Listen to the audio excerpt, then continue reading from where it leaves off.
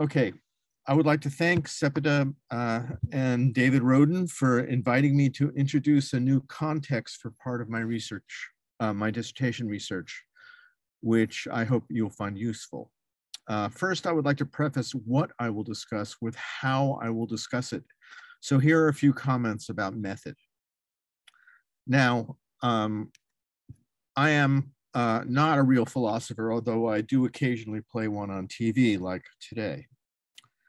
Uh, my background is in literary theory and science studies, uh, which means that I've read philosophy, of course, but I'm not trained in the way that David Roden, Anna Longo, Ray Brassier, and Reza Negarestani and Stefan Sorgner demonstrate.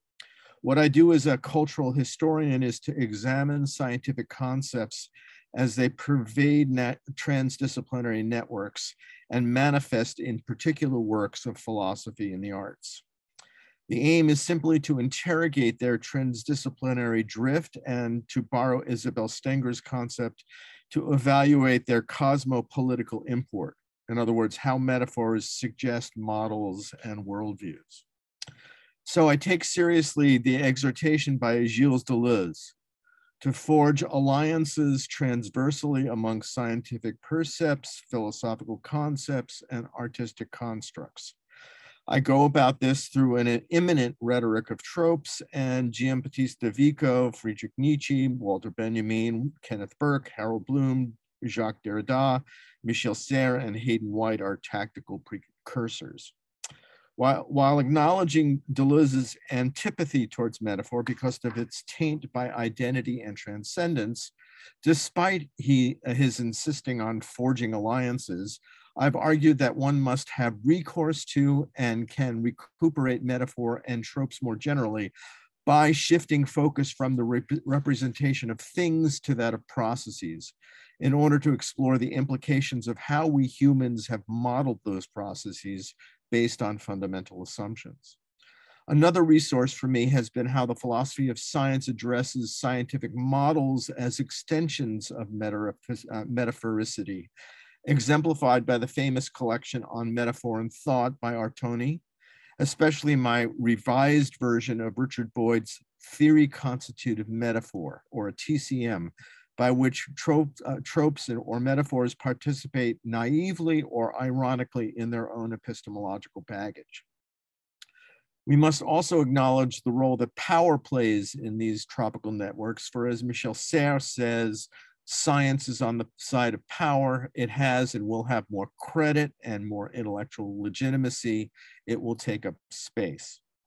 I also want to highlight what Peter Galison would call the agency of tropes and models in shaping cognition, much as tools do in transdisciplinary trading zones, where scientific tropes carry that weight and have that power.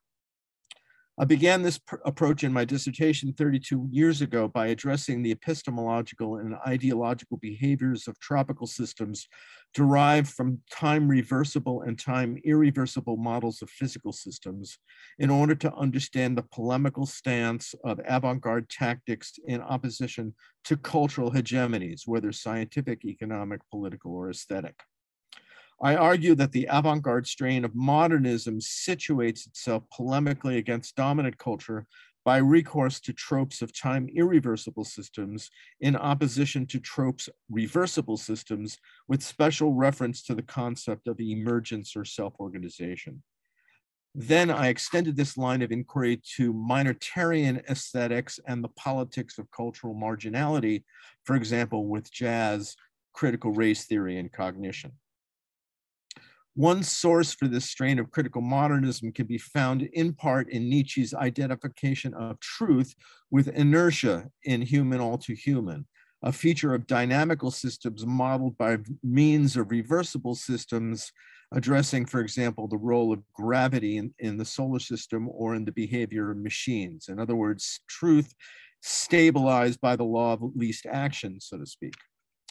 We should remain alert to the appearance of correspondences between physical thought systems here.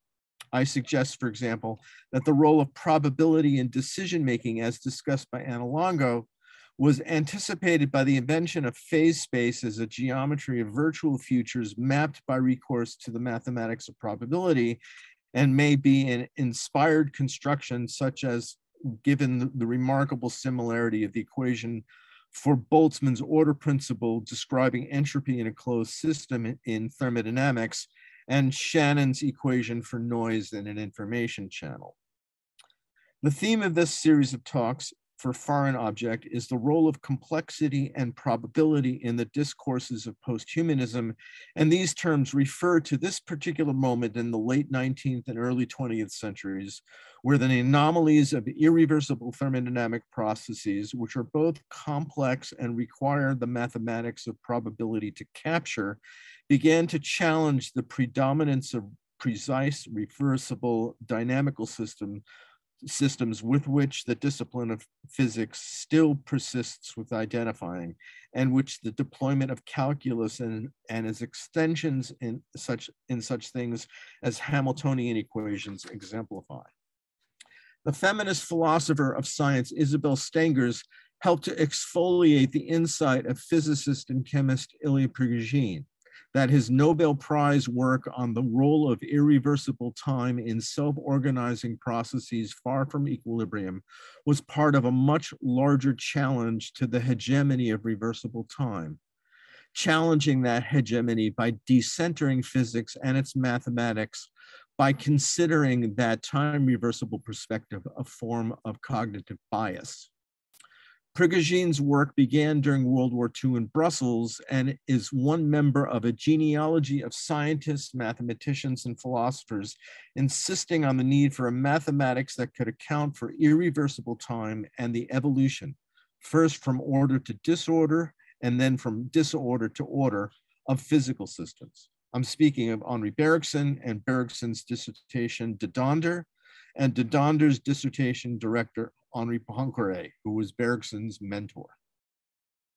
The title of Prigogine's monograph, From Being to Becoming, from 1980, was accompanied by a more uh, accessible polemic co-authored with Isabelle Stengers, Order Out of Chaos, Man's New Dialogue with Nature, came out in French in 1979 and in English in 1984 the French edition of which actually contains a, a large section on Stengers' uh, mentor, Gilles Deleuze.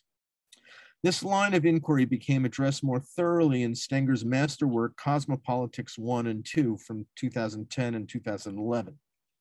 Stengers locates the arena for this debate in the factitious, which is a conflation of the word fact and fetish of scientific invention including both objects and models, from the problematic status of the neutrino in which the modes of observation hold hostage the cognition of scientists as those scientists attempt to grab, grasp its facticity, which Stengers calls reciprocal capture, to the inherent cognitive bias of Western mathematics towards the reversible model of time, a, a, bias challenged by the intuitionist school in mathematics of Kronecker, Poincaré, Brouwer, and others beginning in the late 19th century.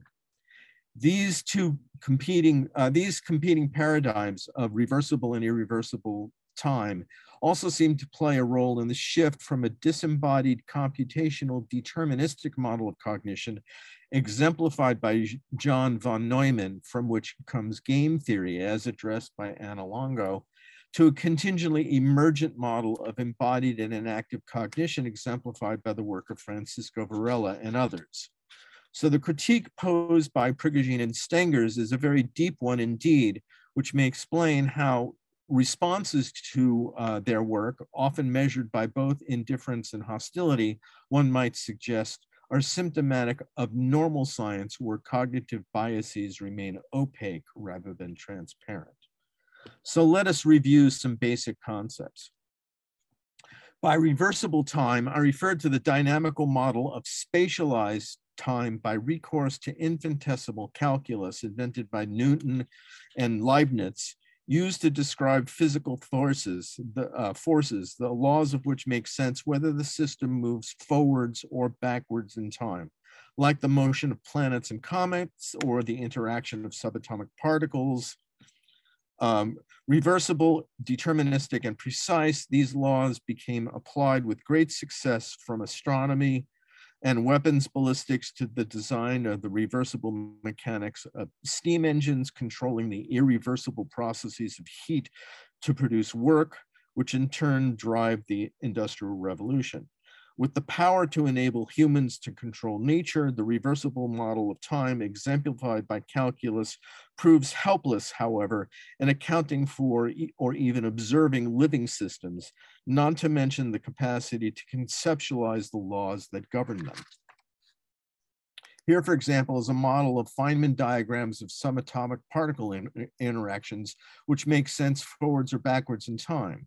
A photon shaking apart into an electron-positron pair with the electron moving forwards, the positron moving backwards in time, or the electron-positron pair colliding, producing a photon.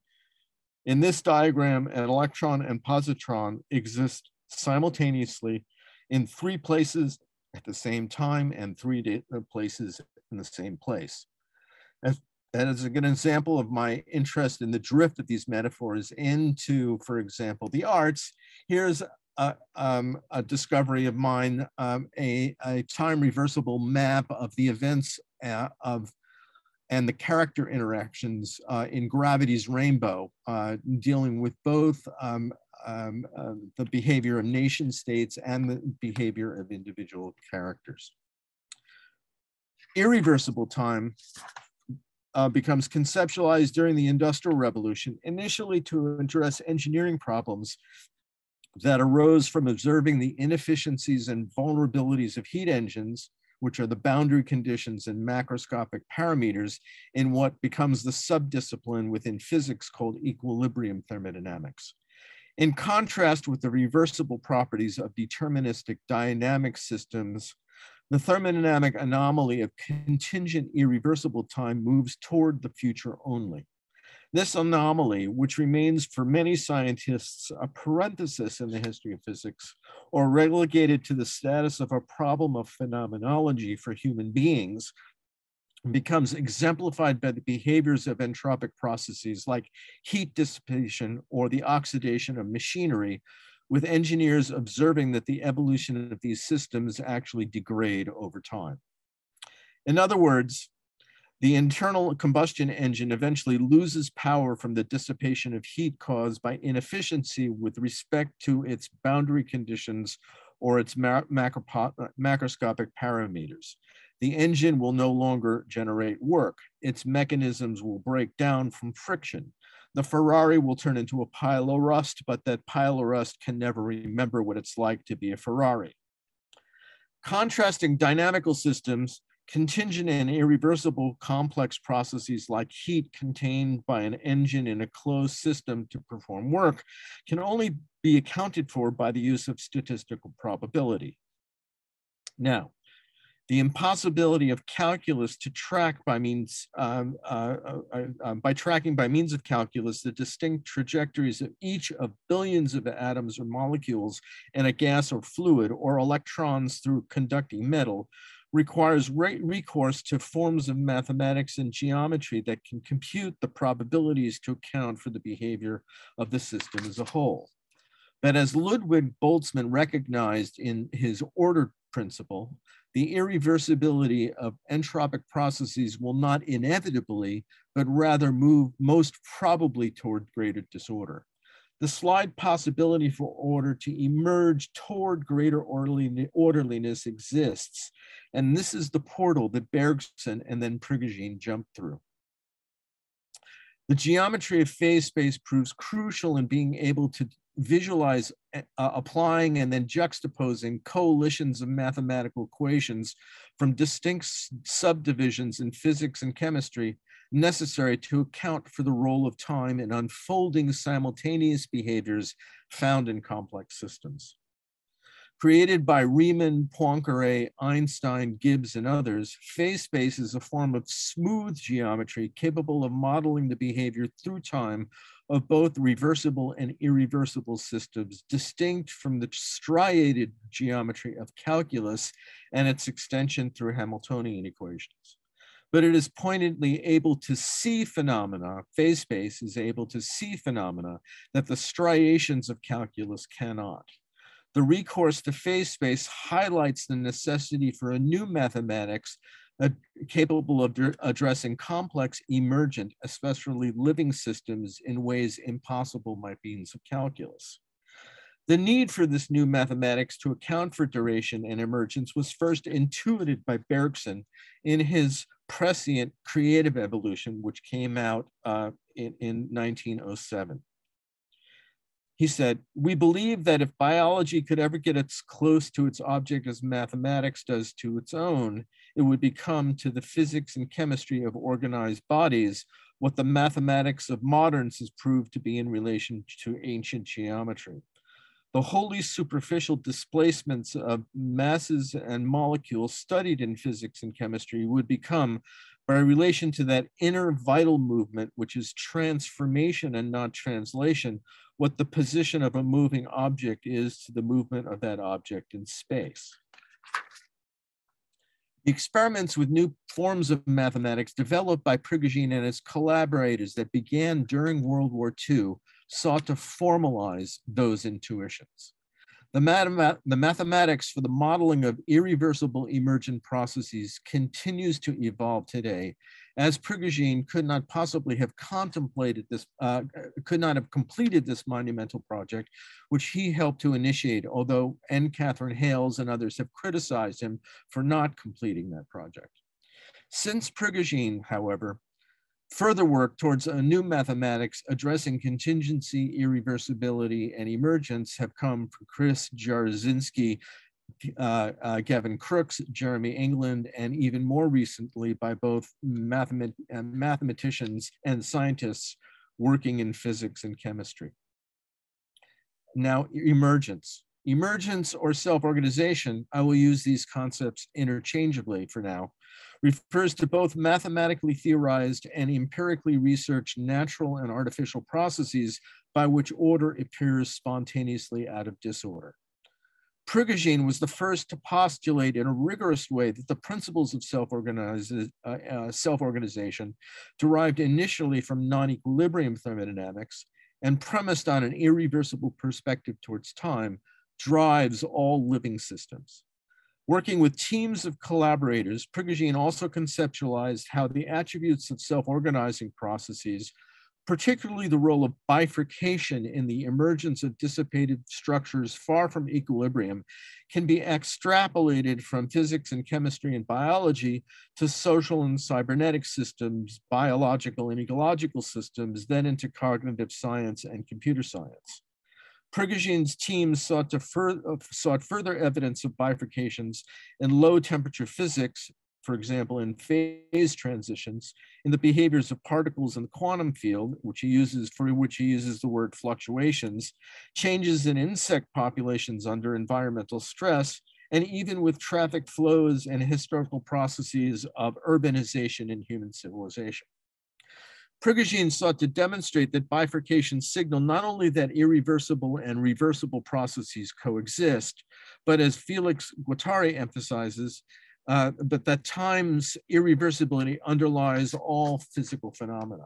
As, as Felix Guattari puts it, the same entitative uh, multiplicities constitute virtual universes, uh, universes and possible worlds this potential this potentiality of finite sensible bifurcation inscribed in an irreversible temporality remains in absolute reciprocal presupposition with a temporal reversibility the, incorpore, the incorporeal and eternal return of infinitude that's from uh, the new aesthetic paradigm in chaosmosis Bifurcation refers to the moment of singular instability in the contingent history of a complex system by which alternative futures for the entire system become apparent and which are instrumental to emergent processes. We can think of these alternatives as forks in the road with a nod to Pynchon, unfolding spontaneously for that system. Bifurcations in phase space thus visualize the range of possible uh, futures for the entire system and are modeled by dots on a graph representing one possible future with an ensemble of dots indicating the horizon of possible futures at a particular moment, often circulating, uh, often circled to indicate the range of, octave, uh, of outcomes in a continuous evolution at a particular moment in time. Here's a, a phase space diagram of time evolution in phase space of a gaseous, a gaseous volume uh, uh, in the context of equilibrium thermodynamics. The mathematics of bifurcating systems and their philosophical implications have now become deployed to account for emergent processes in so many distinct disciplines from the hard to the human sciences that just by itself, the empirical, the empirical verification of the influence of concept of the influential concept of bifurcation integrated in part with nonlinear mathematical models, which Alan Turing used to describe morphogenesis in 1952, has ensured Prigogine's legacy. But it is his investigations into the role of bifurcations in dissipative structures far from equilibrium, which Prigogine receives the Nobel Prize in Chemistry in 1977. Now I'm going to run through these slides quickly.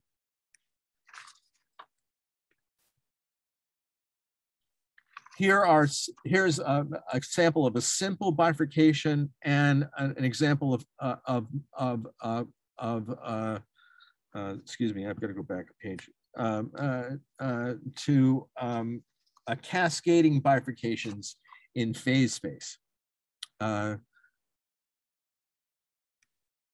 here is an example of, of the self-organizing dissipative structures in phase space uh, of the Belousov-Zhabotinsky reaction, the empirical discoveries in 1958 and, 19, and confirmed in 1964 also confirmed uh, the predictions from these equations from Turing and Prigogine. Here's an example of phase space employed uh, in the history of urbanization. Here, the model of, of the role of chance factors play in producing symmetry breaking population aggregations and economic growth. Here, for example, is Francisco um, Varela utilizing phase space diagrams and to plot the cascading um, uh, bifurcations of a grand mal seizure. Okay, so one part of this polemical transformation requires a foundation challenge to the epistemological stance required a timeless transcendence in mathematics that enabled control of diamond, uh, dynamical systems through calculus. In other words, it cuts the ground out from under the being of Pythagoras and the transcendent, uh, the transcendent observer in calculus, and of course, the subject-object duality of Descartes. It turns out that these two grand narratives, from being to becoming and from duality to univocality, seems to inform, inform a number of discourses of posthumanism. So I think it might be useful to examine very briefly these posthuman grand narratives in light of these earlier tropical polemics, particularly in the terms of the role that technology plays in complicating these two narratives. Here I will refer briefly to the work of David Roden and Stefan Sorgner. I am putting aside for the moment reflections on the significance of Patricia MacCormack's powerful and fearless extinction thesis, which really deserves separate treatment. And I encourage you all uh, uh, uh, to, uh, to uh, dip into her work, uh, which is only now unfolding with a book just re recently released and, and another one coming very soon. So now I'd like to talk about um, Sorg, uh, Roden, Sorgner, and technology, post-human grand narratives. And this is just going to be brief. Despite the slight differences in their classifications of post-human uh, philosophizing, David Roden and Stefan Sorgner diverge when Sorgner seems to identify two grand narratives informing the role of te technology in the shift from humanism to post or meta-humanism from being to becoming and from subject object dualism to univocality or hybridity or disconnection. And I suggest uh, looking at chapter three in his recent philosophy of post-human art for his discussion of grand narratives. David uh, Roden's fictional speculations in Snuff Memories, on the other hand, in my mind, hilariously envision a post-human future without either. And uh, uh my talk um, uh, through um, uh, Foreign Objekt is, is available online. Actually, uh, one can conceive of permutations of these two narratives, such as imagining a disembodied machine intelligence or even a hybrid fusion of subjective bio and objective machine intelligence capable of becoming, here meaning self-organization. As early as the 1970s, the theorization of John Holland in his adaptation in natural and artificial systems, as well as Winograd and Flores' um, uh, Maturana and, uh, and Varela inspired understanding computers and cognition, as well as the development of e the emergent behavior of parallel processing computers distinct from top-down control characterizing mainframe computers, and Rodney Brooks's bottom-up architecture of insect robot, robots capable of learning in real time exemplify these possibilities.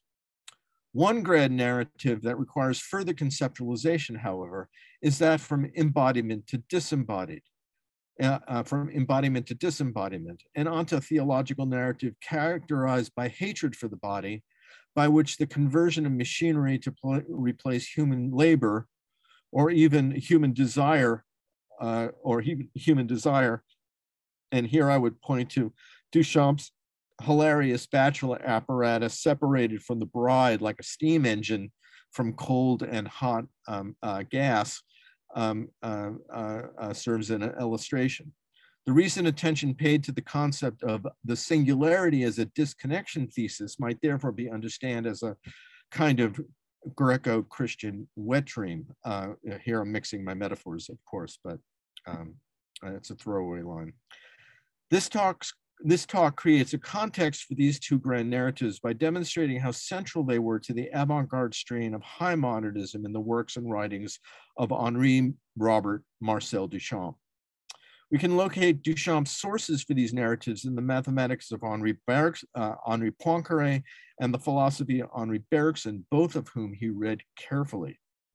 These competing paradigms also seem to play a role in the shift from a disembodied computational deterministic model of cognition, exemplified by the work of polymath John von Neumann, to a contingently emergent model of embodied and inactive cognition, exemplified by the work of Francisco and others, who look back to Maurice Pont, uh, Merleau-Ponty as a godfather, who in turn owes much to Henri Bergson and Edmund Husserl, sometime uh, not often, uh, something not often acknowledged by a phenomenology dominated by Heidegger's being dominating time.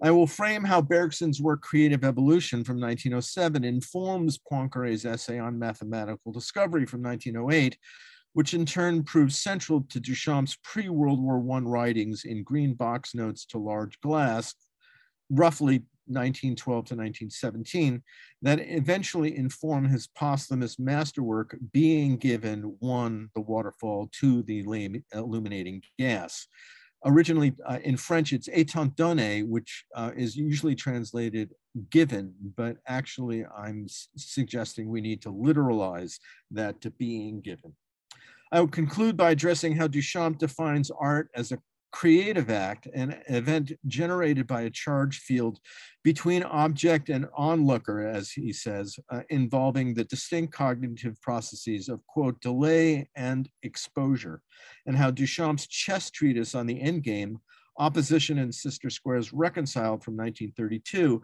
can be read as an allegory of emergent distributed aesthetic cognition as an augury of immanence, whether mediated by, mediated by technology or no, and thus hinting at a narrative evolving from duality to univocality. So now Duchamp in light of the emergence revolution of the 1960s. Marcel Duchamp's work, Étant donné, foregrounds the revolution of emergence, um, which took hold in science, philosophy, and the arts in the 1960s. We should remember within a relatively short period from uh, 1960 to 1970, Ilya Prigogine and Henri Atlan were publishing their research on non-equilibrium thermodynamics as several approaches to self-organizing systems beginning to take shape in physics. The work in second order, second order cybernetics by von Foerster or Gordon Pask, Gregory Bateson, Humberto Maturana, Ludwig uh, Bertalanffy, and others helped stake out a general systems theory postulating in part an analogous relationship between the negentropy of non-equilibrium thermodynamics, a term from, uh, now I'm blanking on his name. Um, uh, I'm, I'm, sorry, I can't think, but uh, uh, fr uh, from a work uh, on what is life from 1943, postulating um, and, and, communication systems, um, um, um uh, exemplified by Shannon and. This uh, led eventually to a major shift in the paradigm of computation as well as transforming our understanding of social systems. Maturana and Varela were beginning to think through their theory of autopoiesis and uh, cognition based on Maturana's earlier work in neurobiology, applying the models of self-referentiality specific to cybernetics, uh, uh, cybernetic models to the behavior of biological systems. Jazz performers were uh, experimenting with polytonal, polyrhythmic polyphony as an, an emergent, embodied, and distributed process without a top-down central compositional roadmap. Gilles Deleuze publishes Difference and Repetition, uh, uh, which explores the cognitive, conceptual, and social significances of the distinction between differentiation and differentiation corresponding re respectively to the being of reversible duration and the becoming of irreversible duration linked initially to classical and quantum and uh, uh, uh, quantum dynamics on the one hand and equilibrium and non-equilibrium thermodynamics on the other as models of the world. Also, Spencer Brown develops the laws of form, a form of boundary map that proves central to the works of uh, Heinz von Foerster, Gregory ba Bateson, Humberto Maturana, and Francisco Varela. This is the context for Duchamp revealing posthumously a work of art called Etant donné, whose English translation means literally being given one the waterfall, two the illuminating gas. I would like to examine Duchamp's masterwork because it speaks to how Marcel Duchamp's own theory of creativity incorporates the observer's reception of an artist's work in a, the famous passage from, from the creative work, uh, the creative act, excuse me. Perhaps it is only when spectators called art historians fully comprehend just how intimately great art interrogates the science and strange attractor of state, uh, the strange attractor state of fame, obscurity, and rehabilitation justly stabilizes. As we will see, for Duchamp, art and its reception becomes defined as an emergent distributed cognitive event propagating through time. Etant donné, being, being given one the waterfall, uh, uh the, uh, the illuminating gas, sorry. When the assemblage Etant donné appeared in, Duchamp, in the Duchamp collection of the Philadelphia Museum of Art after Duchamp's death in 1968, it seemed to violate many of the conceptual postures adopted by Duchamp over a, li a lifetime, including that of meta-irony. One walks to the right rear of the room holding the Duchamp, uh, uh, which holds the Duchamp collection and enters a darkened doorway that funnels art patrons to the left towards a medieval door through which ambient light streams through chinks in the door. One walks up to a chink in the door at eye level and peers at a perplexing yet scandalous scene, uh, scandalous scene with two main objects vying for the attention of the viewer. One, a fake backlighted waterfall. Two, a lit glass lamp held by the outstretched hand of a three, partially dismembered torso of a woman made of, of, of, of, of uh, a frame and pigskin, whose splayed legs reveal the entrance to the womb. And finally, four, the subject position of the art patron now confronting the condition of self-consciousness and stumbling into an act of voyeurism that violates cultural mores.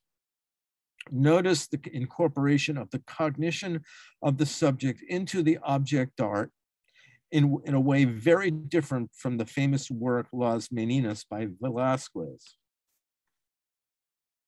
Over 20 years in the making, while Duchamp pretended to be retired, just an idle breather, as he says, but unveiled only posthumously, Etant donné has as its physical foundation an altered chessboard, uh, uh, uh, an altered chessboard floor with intersecting geometries implying n dimensions represented in a two-dimensional field.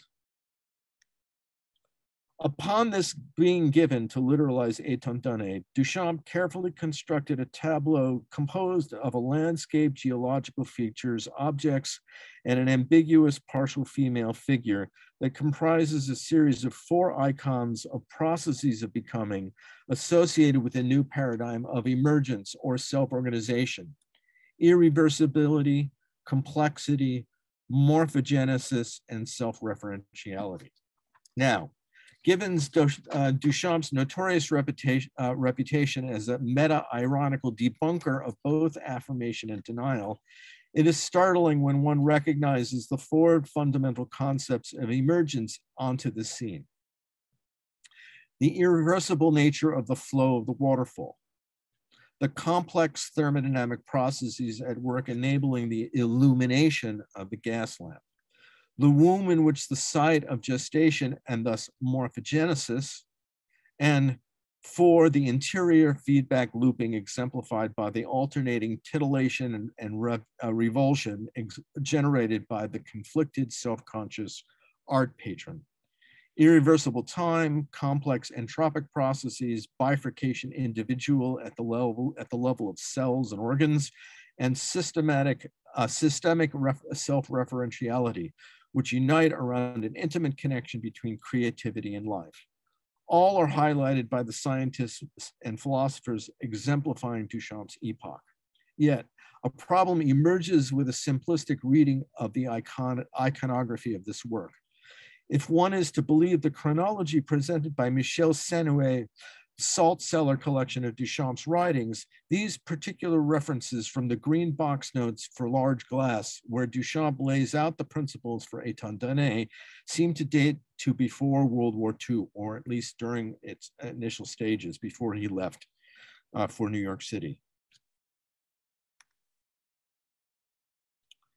And here I'm going to read uh, the passage. Given one, uh, first the waterfall, two the illuminating glass, we shall determine the conditions for the instantaneous state of rest or, or allegorical appearance of a succession of a group of various facts seeming to necessitate each other under certain laws in order to isolate the sign of the accordance between the state of rest capable of all innumerable eccentricities and on the other a choice of possibilities authorized by these laws and also determining them.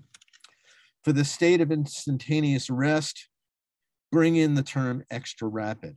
We shall determine the conditions of the best expose of the extra rapid state of rest, of the extra rapid exposure, allegorical appearance of a group, etc. Nothing perhaps.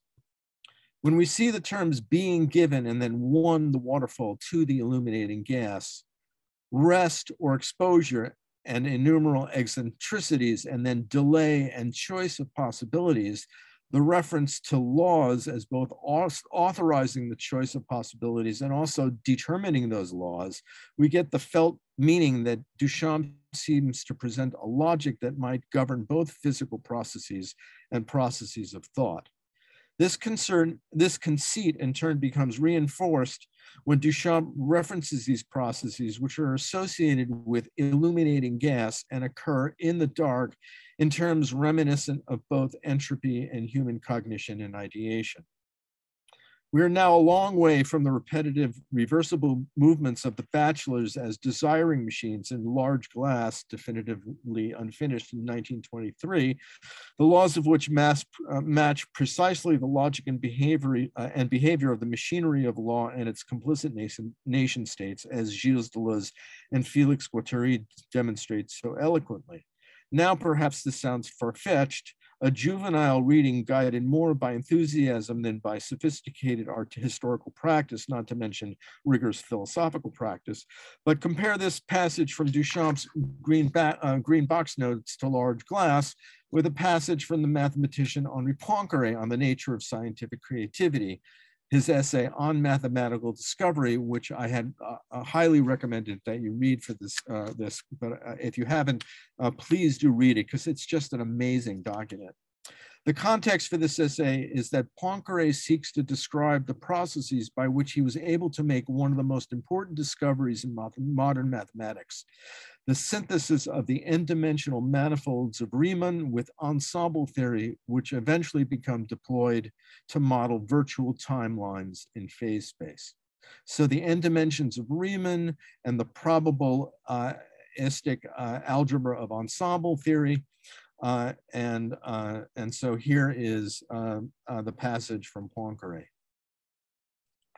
Poincare describes illumination as a eureka moment that destables the order of both things and models. Thoughts are like, as he says, Democritus's atoms attached to walls and then, quote, during a period of apparent repose, but of unconscious work, some of the atoms are detached from the wall and set in motion. They plow through space in all directions, like the gaseous molecules in the kinetic theory of gases. Their mutual collisions they then may produce new combinations. Then he go on, uh, goes on to say, my comparison is very crude, but I cannot well see how I could explain my thought in any other way. Polemically, this is Duchamp's illuminating gas. Here we find the first speculation in the scientific literature of thermodynamic processes of gas capable of emergence or self-organization, that one portal that uh, Boltzmann had suggested, as well as the first precise analogy between emergent behavior in physics and chemistry and cognitive processes, a tropical correspondence between physical law and cognitive behaviors associated with mathematical and artistic create, and for Duchamp, uh, for, uh, uh, for Poincaré, mathematical creativity, for Duchamp, artistic creativity. Poincaré's famous model of creativity from this essay, adopted by behavioral psychologists as well as art theorists involving preparation, incubation, illumination, and verification, is dominated by one central tropical conceit that thoughts are like Democritus's atoms attached to walls, and at moments of transformative insight, not only those atoms, but also the walls to which they are attached, can in a process reminiscent of Brown, uh, reminiscent of Brownian motion, but not limited to that, and only uncharacteristically um, uh, uh, uh, given uh, the context of endgame thermodynamics, becomes capable of what Simondon, uh, uh, what Gil Gilbert Simondon might term transduction.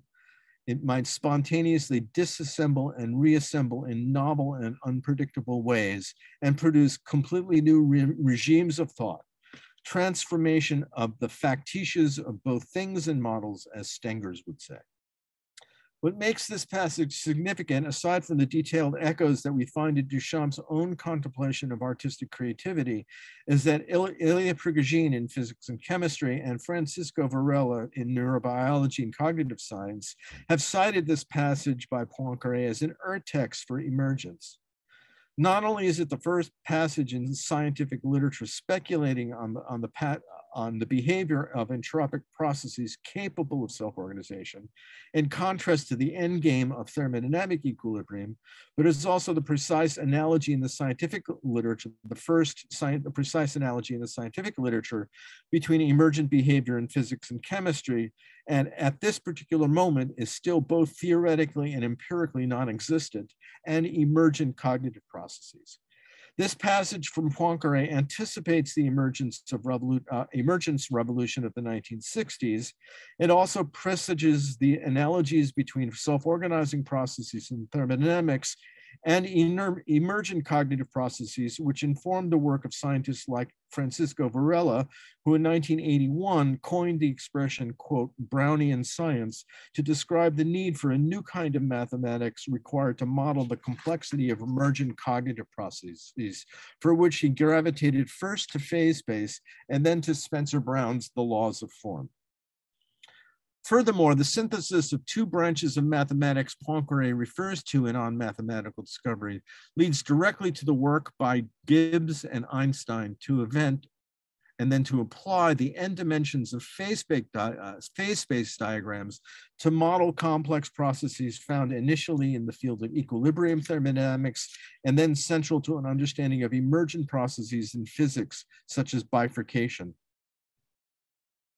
and that would be Prigogine and Atlan and others in the context of non-equilibrium thermodynamics, and emergent neuronal synchrony uh, and, and and, dis, and desynchrony in cognitive science, as in Varela, Petitot, and others. Phase Space helped Varela model the Brownian science of cognition he sought, as, for example, his deployment to illustrate the cascade effect of grand mal seizures. But, the student was also able to teach the teacher. So let us examine where Poincaré found inspiration in Henri Bergson's theory of durée, memoire, and élan vital, which many of you may be familiar. Okay, so now Bergson. Born in Paris to British and Polish Hasidic Jewish parents, Henri Bergson was an exceptional student demonstrating precocious mastery of biology, psychology, philosophy, and mathematics, especially mathematics. Bergson won the national, the French National Prize in Mathematics in 19, 1877 while still a lycée student, which brought him into prominence and led to a meeting and then a lifelong relationship with the great mathematician Henri Poincaré, the eventual PD, uh, PhD supervisor of Prigogine's dissertation director, De Donder, uh, at the Free University of Brussels. Bergson earned his PhD in, in 1888. He wrote his major and minor, minor doctoral theses the first asserts a primacy of irreversible time in uh, uh, time and free will, Essai sur les données immédiates uh, de la conscience. Uh, pardon my French, please. Uh, the second thesis in Latin, and I'm, I'm sorry, I, am even, I, I, can't even order um, meals in a restaurant in Latin. Um, so I'll just say Aristotle's conception of place is a historical critique of the spatialization of time. In an ironic twist, Heidegger cites the second thesis in Being and Time, using it to justify his claim that Bergson's view of time remains within the horizon of Greek and, and therefore Platonic metaphysics, while appropriating many of Bergson's post-Kantian insights into the nature of duration for his own. And this is perhaps the classic example of a three-card Monty citation. Bergson's publishing career began with a book on Lucretius, uh, who, if you um, uh, are aware, um, uh, followed Democritus and developed a theory of the swerve. And then in a series of books critiquing the philosophical and psychological distinction between time and duration in, in Herbert Spencer and Immanuel Kant in Time and Free Will, uh, which was his uh, original dissertation, and then extending from philosophy and psychology to scientific inquiry and biology by critiquing the mechanical and teleological interpretations of Darwin's mechanic, mechanistic and Lamarck's teleological theories of evolution in matter and memory. In Creative Evolution, published the year before Science and Method, Bergson formulates a cosmic theory of emergence that applies to both the natural world and to human thinking and institutions, with reference to 19th century speculations about a biology of knowledge, while continuing to make visible and challenge uh, the so-called natural assumptions of spatializing time uh, underlying clocks and calculus that structure the psychological, social, economic, and political order of the social of the industrial revolution. In Two Sources of Morality and Religion, Bergson extends this theory of creative evolution, uh, evolution into analysis of the relationship between religion and culture by contrasting the orthodox and defensive nature of closed systems and the heterodox and mystical nature of open systems, reminding everyone that systems theory, speculating on, on the relationship between uh, uh, uh open and closed systems, really doesn't uh, uh, uh, come into mainstream thought until the 1960s. But underlining the systematic building of an emergent view of creative intelligence involving durée, memoire, and, and élan vital from physiochemical systems to biology and then from biology to realms of human intelligence and social organization lies a, petite, uh, a pointed critique of the assumption that time is merely an abstract function spatialized in geometry, which obscures the embodied reality of lived duration. For Bergson, there are psychological and social costs to this disembodiment of human cognition from lived duration by superimposing spatialized time onto it. Recent research by Warren Neidich, uh, Maurizio Lazzarato, and others on the origins and consequences of what they call cognitive capitalized capitalism has emphasized how contemporary global and economic and communications networks, both social and digital, suppress an individual's, uh, individual's cognitive bifurcation. And that's the term that they use, a top-down suppression from the noological, which is from Lazzarato, to the neurological, which is from Neidich. That one that uh, that is one consequence of these networks, with the emergent behavior a cognitive bifurcation associated with creativity and freedom of thought writ large. And here I would just mention, uh, it's the only time I'll mention jazz, is I have an essay on um, uh, on bifurcation and cognitive capitalism and phase space with respect to jazz improvisation uh, called The Gift of Silence, which you can find on my, on my website. But Bergson got there first. We find one or origin for just such a critique of cognition altered by the Industrial Revolution by his insistence of a direct link between the hegemony of reversible nature a spatialized time associated with clock time and calculus over engineering economic and social and political systems, as well as cognition through clock time and calculus, and the assumptions behind that, uh, that grounding uh, in the descriptions of the human of uh, the descriptions of human cognition by Immanuel Kant, which was shaped by uh, Newton and Leibniz. Bergson says, like ordinary knowledge, science is concerned only with aspects of repetition. Anything that is irreducible and irreversible in the successive moments of a history eludes science. Here we note his attempt to expand the purview of science and philosophy as they were currently constituted. But to succeed in that expansion, Bergson finds that he must, quote, do violence to the mind to go counter to the bent of the intellect. But that is just the function of philosophy, he says. Rather than demonstrate hostility to science, Bergson seeks to make visible what has happened to human thought and social organization since the Industrial Revolution, with its pervasive social and cognitive organization by means of machinery.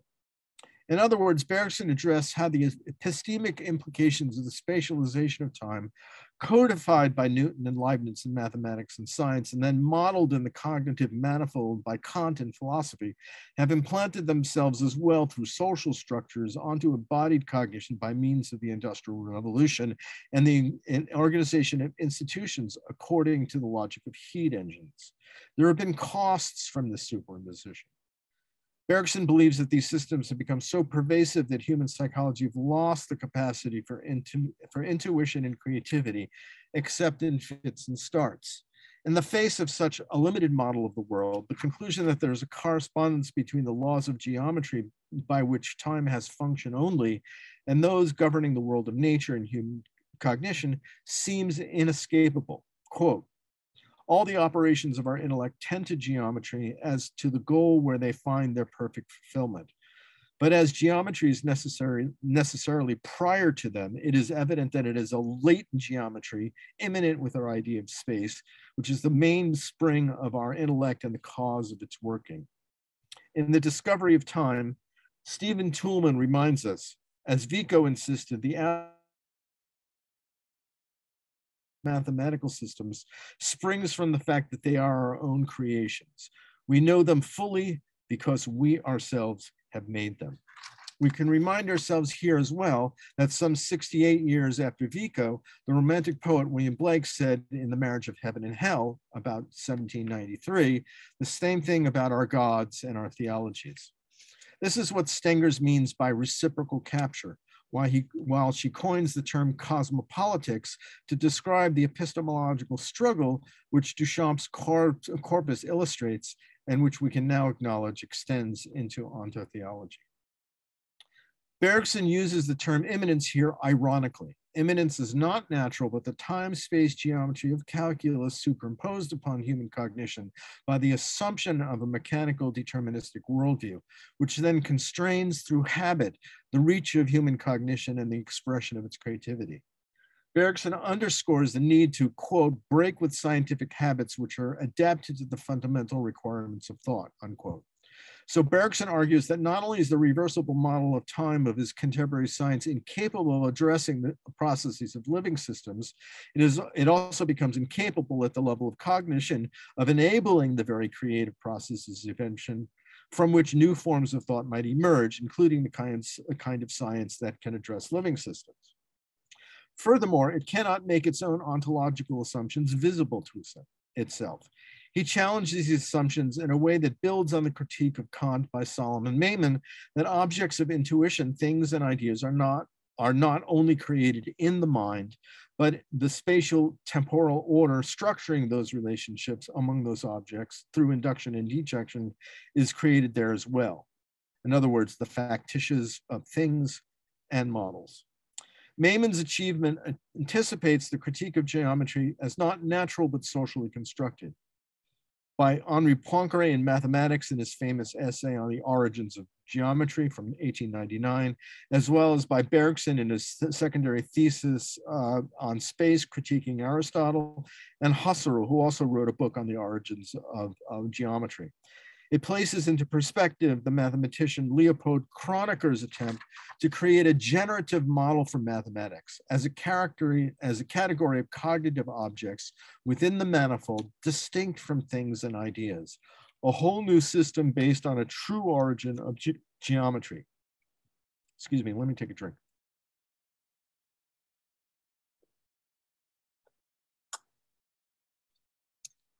Here we find a form of calculus without zero, without negative or irrational numbers, without the timeless truths of geometry. It is a mathematics built from the role of reversible, irreversible time in cognition.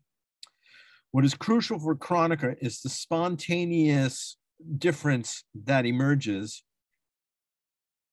through time between the appearance of two after the appearance of one, the emergence of their relation.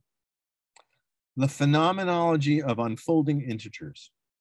This might surprise some, it might surprise some that one of the founders of phenomenology, Edmund Husserl, a mentor for the later intuitive mathematician Brouwer, studied mathematics for, with Leo, Leopold Kronecker. From duality to univocality, Duchamp, chess, and distributed cognition at this point,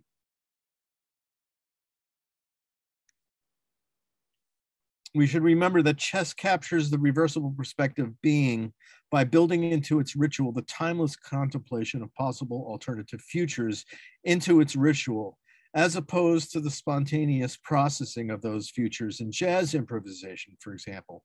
It's one of the reasons for my research in jazz, is, is this particular point to the point chess has served as a metaphor and by extension as a model for the reversible laws of physics exemplified by calculus, most pointedly by Richard Feynman, as I demonstrated to illustrate the time symmetry of quantum electrodynamics, but also as a metaphor and model for top-down computational cognition by John von Neumann, Claude Shannon, and Alan Turing, with the first two writing influential essays on chess as a paradigm for computation, and Turing for actually writing a program for a chess playing computer before that computer even uh, uh, was uh, had an existence. This first distinction between time reversible and time irreversible perspectives, as foregrounded by the chess metaphor, finds its way into linguistics in the naive synchronic diachronic model of de Saussure and in the ironic historically contingent model of Wittgenstein. We can now see a, emerging a bifurcation in the use of chess as a theory constitutive metaphor, distinguishing in its naive, uh, naive appropriation that buys into the epistemol, uh, buys into the epistemological baggage from its ironic appropriation in its subversion of this very baggage. From metaphor to model, we now address allegory of chess as integrating two grand narratives. Chess also becomes deployed to narrate cosmic processes that come into apply through a parallelism with both physical laws and human civilization. Through the application of local symmetries onto an asymmetrical uh, uh, chessboard, and you can see uh, that these zones, um, uh, and I'll, explain that in a, uh, in a second, um, the game plays out through a principle of attrition warfare, the larger forces governing both internal combustion engines and the social orders undergoing reorganization to maximize its economic uh, potential. The reversible laws of physics are applied to control the thermodynamic processes of heat in order to produce work. From Carnot and Clausius to Lord Kelvin uh, to Clerk Maxwell, the twofold decline in efficiency found in heat engines applied from first to the universe in its entirety towards thermodynamic decline. For the second, by analogy applied to human civilization, an allegory picked up by the American Henry Adams and the German Oswald Spengler and applied to human history, as in The Decline of the West. Marcel Duchamp reached master status in internet, uh, international play. He wasn't just a, uh, a chess he, uh, chess player. He was a, he was a grandmaster. So Marcel Duchamp reached master status in international play and co-authored with Vitali Halberstadt a work on opposition theory and the end game. opposition et les cases conjuguées sont réconciliation, opposition and sister squares reconciled from 1932. That year, Duchamp also played for the Paris City Championship against Francois de Lionnais, a mathematician, game theorist, and future founder of the Oulipo movement of avant-garde poetry and fiction, and, and strongly uh, influenced by second order cybernetics. Duchamp won the Paris tournament in 1933 and then translated Znosko-Borovsky's masterpiece, uh, masterpiece on opening moves, How to Play Chess Openings. Duchamp also played chess with Samuel Beckett on and off for nine years while living in Paris between world wars. Beckett wrote Endgame, in which the formal oppositional relationship between the characters can be analyzed using Duchamp's chess treatise. Duchamp also taught John Cage how to play chess when they lived together in New York City. Well, they didn't live together, but they lived in New York City in the 1950s. At jazz and at Cage's compositional chess event in 1968, which occurred before Duchamp's death, Teeny Duchamp was one of the players uh, alongside uh, Marcel and, and uh, who replaced Marcel and then finished the game for him. And that was modeled on a chess game. Nabokov in turn taught uh, uh, Nabokov, uh, uh, uh, excuse me, I skipped a line. Duchamp also ch uh, played chess with Vladimir Nabokov, who wrote a novel called The Defense, modeled on a chess game. Nabokov, in turn, taught literature and creative writing to Thomas Pynchon, whose novel Gravity's Rainbow has numerous references to chess, as hinted earlier, and which appears the character Marcel, the robot chess player. Of all the figures discussed, it is Duchamp that penetrated furthest into the epistemological baggage of chess as metaphor, model, and allegory.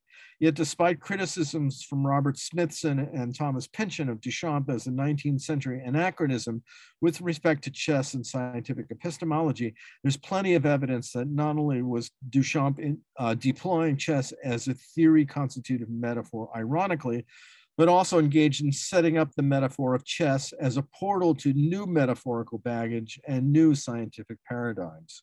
Take, for example, Duchamp's humorous self-deprecating portrait as an everyman figure of disembodied cognition.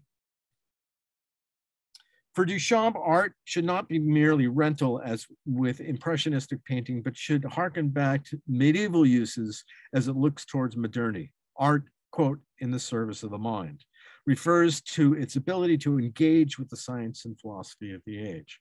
So for Duchamp, the game of chess not only becomes a work of art unfolding through time, played out within the shared cognitive field of competing players, it also becomes a commentary on the limits of chess as a metaphor, model, and allegory of human cognition. For Duchamp, chess represents a limited model of cognition, a limitation that one ignores at one's peril. In Duchamp's chess treatise, the term opposition associated with a standoff between kings has a synonym in the term equilibrium. And this term has roots in both the game theorizing of von Neumann, as discussed by Anna Longo, as well as equilibrium thermodynamics, referring specifically to the endgame of systems death for a thermodynamic system. The aim of the chess treatise is to reestablish equilibrium between the kings in their opposition after any move which involves the complex form of folding and then inverting the sections of the chessboard so that the kings seem to emerge out of the same square. Opposition and sister squares reconciled. So given the asymmetry of the chessboard, 64 squares, eight squares on a side, the chess player manipulates a small symmetrical section of the board surrounding a king so that it is enfolded and then and so it is folded and then inverted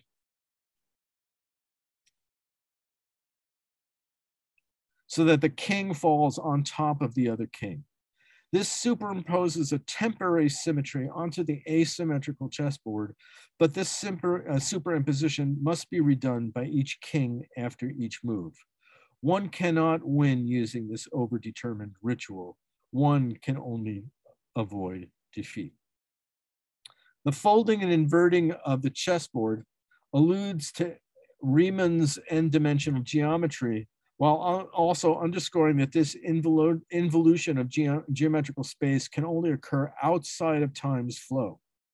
Humans create timelessness and only human beings. Kronecker, Poincare, and Brouwer point out that geometries are socially constructed and all of Western math mathematics, save for integers and the immanent continuum, are, are about power and control over the, over the world. Excuse me, I get the hiccups.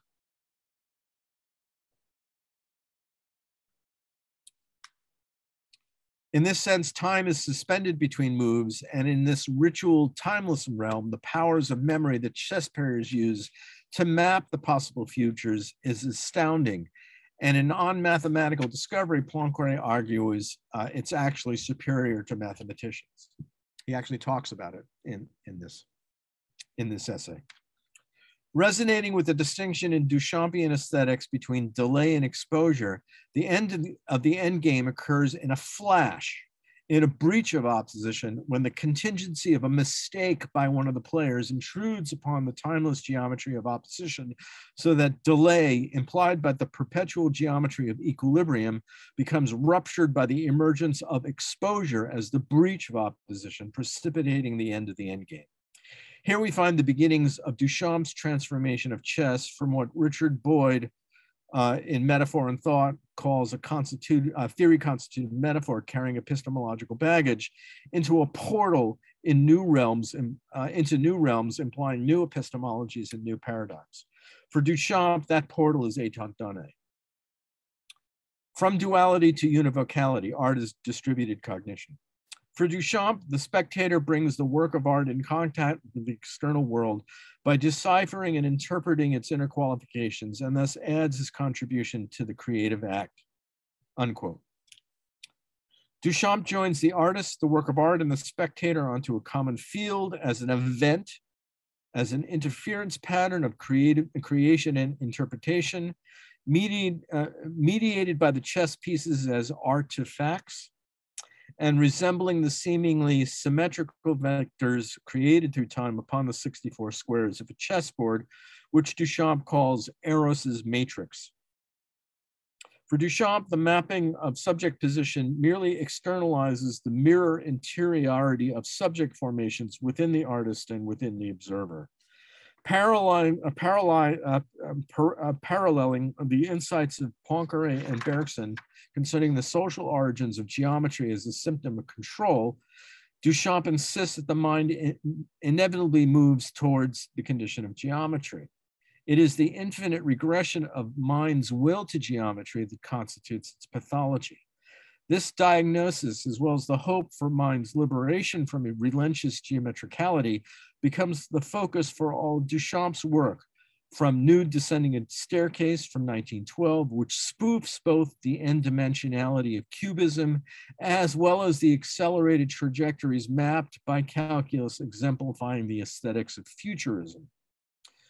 We have mentioned briefly how opposition and les cases conjugués sont réconciliés, opposition and sister squares reconciled, delineates the rules governing the avoidance patterns of the two kings seeking opposition or equilibrium, so that what goes on in the minds of the players is more important than what's actually on the board.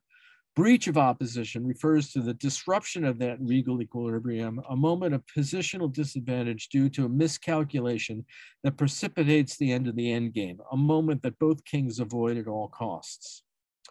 Duchamp's chess treatise can thus be read as a rhetoric of the aporia, so that breach of opposition corresponds to the charged moment that Duchamp calls in the green box to large glass exposure. The aporia serves as a portal which triggers mirror inter interiority within the mind of the observer.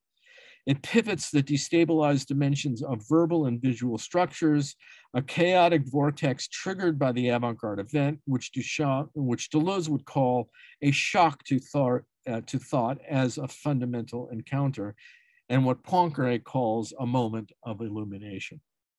This force field, which Duchamp calls delay, and which he judges to be both intoxicating and habit forming, resembles the vectors created through time upon the 64 squares of the chessboard. A game between artist and onlooker, or a drug, as I said before. Duchamp describes the laws governing this field of force with pataphysical pseudo-mathematical precision and they help to conceptualize the charged moment of exposure, which ends the endgame of art in the terrorizing avant-garde event. Occurring as an infinite regression of mirror interiorities, this event short circuits the force field formed by the complicity between artist and observer. A more refined sense of Duchamp's concept of delay comes from his preface to Green Box Notes, which we've already seen, in which he juxtaposes delay with the concept of exposure. Prefaced by what would become the title of Étant donné, this passage um, dissolves one opposition, that of art and interpretation, and creates another. On the one hand, we have the instantaneous state of rest or allegorical appearance, which is, quote, capable of all the innumerable eccentricities, unquote, indicating a liberating moment from undetermined cognitive flows experienced as pure contingency. On the other hand, we have terms of succession, various facts, choice of possibilities, which collectively indicate a superimposition of spatial and temporal difference upon cognitive processes, responding to the world habitually by experiencing the flow of duration as a series of still frames, mathematically through calculus, conceptually through schematic forms, musically through staves, bars, and time signatures, or artistically through a single lens reflex or motion picture camera. The pun on exposure and expose signifies a momentary and surreptitious flash and a scandalous revealing in the journalistic sense, evoking the subject position of the art patron reviewing the étant donné, viewing étant donné. It thus provides within itself the difference between the moment of exposure to the pure apprehension of duration stripped of regimes of reciprocal capture and the conceptualizing of the moment, which also serves to defer the moment in the process of conceptualizing, while titillating our interest as voyeurs in it as well. Furthermore, the passage addresses equivocally what may be the essence or function of the accordance between of exposure itself as a potentially infinite mirror interiority. Is it an allegorical appearance? The bride basically is a motor, but before the mo being a motor, which transmits her timid power, she is this very timid power. And here, I don't have to, I, I had to eliminate this part, but I go into a whole thing on cross uh, dressing and the photograph uh, uh, uh by Man Ray of uh, Marcel Duchamp and drag. In other words, is exposure made possible by a double invagination simply a hieroglyph that could be called a transcendental signifier, a sign of the accordance between, or is it nothing perhaps, or a reminder of being's fiction by demonstrating its crystalline impossibility in the contingent world of irreversible duration? Or is it perhaps, or perhaps it represents the end of the tyranny of being as the necessary premise for all geometric constructs in the pure contingency of becoming, liberated by the disruption of the mechanisms of signification which constitutes the terror of the avant-garde event. And here I might mention uh, Arakawa and Gins' famous work before their architecture called The Mechanism of, of, of Meaning. All this toying of, uh, with opposition suggests an infinite regression, a mirror interiority exemplified by the capacity of reversible properties of calculus to spatialize time into an infinite number of points on a trajectory, or by the capacity of n-dimensional geometry to generate an infinite regression of interior spatiality outside of time in much the same way. Quote, the pendu femelle, uh, Duchamp and drag, is the form in ordinary perspective of a pendu femelle for which one could perhaps try to discover the true form. This comes from the fact that any form is the perspective of another form according to a, a certain vanishing point and a certain distance.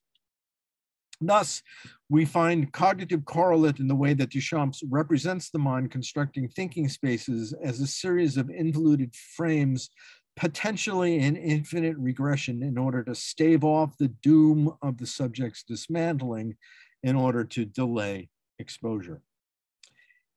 In a permutation on the given passage that immediately follows, Duchamp adds, given if given in the dark, repeating in the dark close to a reference for the illuminating gas, or clouds of signification surrounding the artifact at the moment of exposure, here he seems to insist on the interior and contingent nature of the condition of exposure in its relation to the relationship to the succession or the cognitive tactics of delay.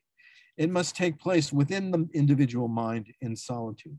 But while, while the concept we has in, uh, in, in effect has no being except as an arbitrary subcategory within delay itself, yet paradoxically, the we can only manifest in terms of embodied and distributed consciousnesses. The dispersed plenitude of the I between the art and the fact reverberates in a sophisticated way with complex systems, the implications of which were anticipated by Poincare and Bears.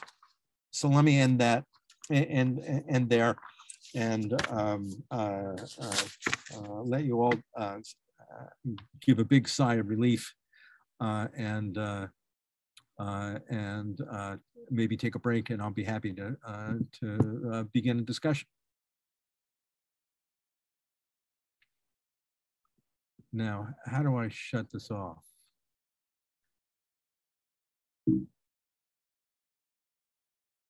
Ah, there we go. Thank you so much, Martin. Um, so you you would like to take a break? Um, no, I can go on. Oh, okay. So so please feel free to unmute yourself and ask your questions because it's like an informal session and we're not gonna have like that kind of moderating type of job. So yeah, please go ahead. Also, I'm inviting the attendees to join the session and um, yeah, please, please feel free to ask questions. Uh, in the questions, uh, there's nothing in the question and answer. Um, Hi. Would it Hello. be in the, in the chat? Oh, can, can I ask a question? Uh, sure. Okay, hi. Th thank you, Martin. It was an absolutely delicious uh, presentation, extremely stimulating. Um, um, would you have uh, something to say about ethics of creation? Let's say we um, we presuppose this this um, permutating chess game in time and this um, absolutely uh, radical freedom to uh, undergo transformation with the the, uh, the, the proposal um, at the start of the presentation in the irreversible time of um, creativity deployment, would you have uh, something like a, um, an ethos or ethics to to work with this kind of pure chaos of uh, of deployment? Um, actually, uh, in the essay um, uh, that I suggested as background reading um, uh, for this talk uh, called Portals in Duchamp and Pynchon. Um, I actually coined uh, the term uh, ethics of cognition. Uh, and actually that got picked up and there was a whole um, art show built around that concept um, a number of years later, I think it was 97. so this is something I'm very much invested in and it's one of the reasons uh, why I started working on on uh, the theories and the architecture of Arakawa and Gins, uh, as well as jazz. Um, and I address uh, the ethics of this in an essay called "The Gift of Silence," which you can find on my website. Uh, uh, so. Um, okay. I mean, I could go. Uh, it's uh, uh yeah, please. I, I, I'm used to thinking about this in, in terms of jazz, uh, uh, but it's it's such a huge topic that uh, without prefacing uh, that with a talk almost as long as this one. uh, I don't know how I could get there from here, uh, um, but um, uh, I'd be interested in hearing what you might say about that. Well, okay. Uh, well, because uh, in my in my own little systems, I I I, was extremely glad to hear everything you you said because I I felt that it, the intuition itself of the critique of the system I'm in, in the art professional art system in, in French Canada, um, and I was starting to implement these kind of of um, re redirection of systems within the systems to to produce new structure parallel but competing and so and so i'm starting to grow a, a bit conscious about ethics of um, chaos development and to to manage the destructuration of institutional public management and and um and so I I, I, you, I, you mean like you mean like Trump only different. Uh, I hope not.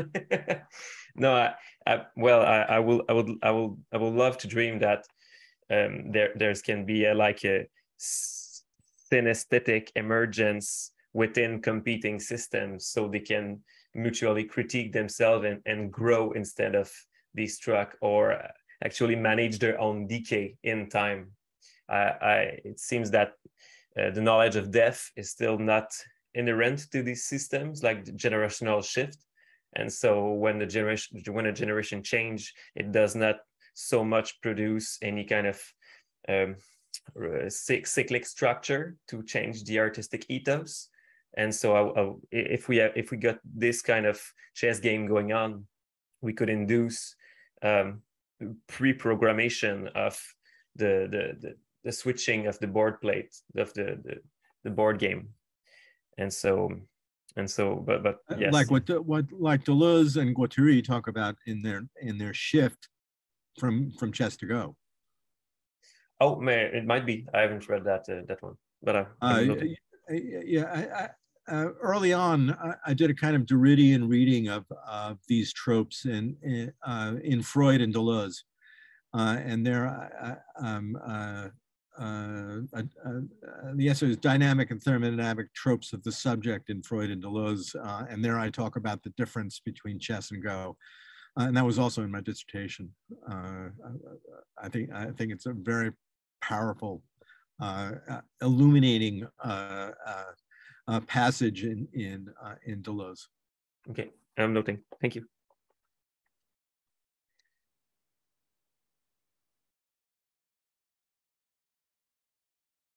Yes.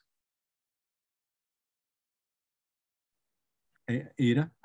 Hi, yeah, so great talk. Thank you so much. Um, I did have a question about probability in science. That was really interesting because um, in terms of probability, you're um, analyzing data and you're making sense of that data in terms of the mean.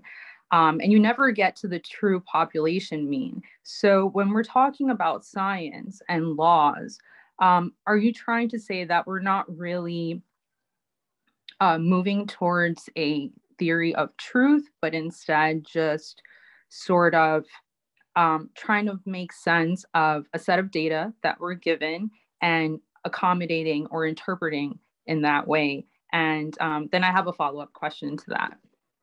Um, well, I'd say the first rather than the second. If you remember, I, I started off the talk with reference to um, uh, the beginning of this kind of immanent critique of scientific epistemology when Nietzsche says that truth is inertia. Uh, in other words, there is no probability with with truth. So, um, uh, so uh, th that makes sense.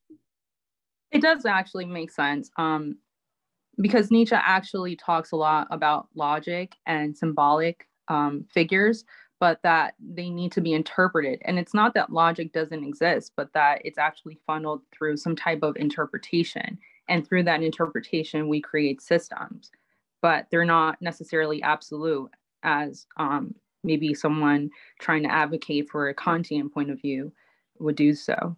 Um, but I did want to ask you about um, duration emergence and uh, pataphysical philosophy. Um, so, for example, in music, uh, the duration of sound can be uh, tweaked right? You can be in 4-4 time um, and in one bar you can make for example the second note longer than the first to create um, a different type of interpretation in terms of the sound. Now would that lead to a sort of emergence of of what a, a new type of interpretation that you're trying to convey here here um uh, here's where music might really be helpful. Um uh, I, oh sorry. Sorry. um, i uh, my dog will do the same so interrupt uh, and find their way into the conversation. Uh, in my first piece on jazz and cognition, which came out in 2010, um, I talk about the calculus of music notation. Uh, and the fact is, is that modern musical notation emerges at the same time that calculus did. Mm -hmm. And um, uh, Palestrina is one figure where these two very different regimes come together. Um, and Cage actually disrupts the system uh, uh, where he actually deploys phase space diagrams and uses them for orchestral scores. Hmm. Uh, completely changing the paradigm and blurring the boundary between music and noise. And by and implicitly, uh, implicitly arguing that music is an emergent property caused simply by the, the shuffling of papers and, and the shifting of feet and, and, and coughing and, and, and so forth eh, uh, during uh, four minutes and 22 seconds. Jazz, on the other hand, is very different in the sense, in the sense that while Stravinsky, for example,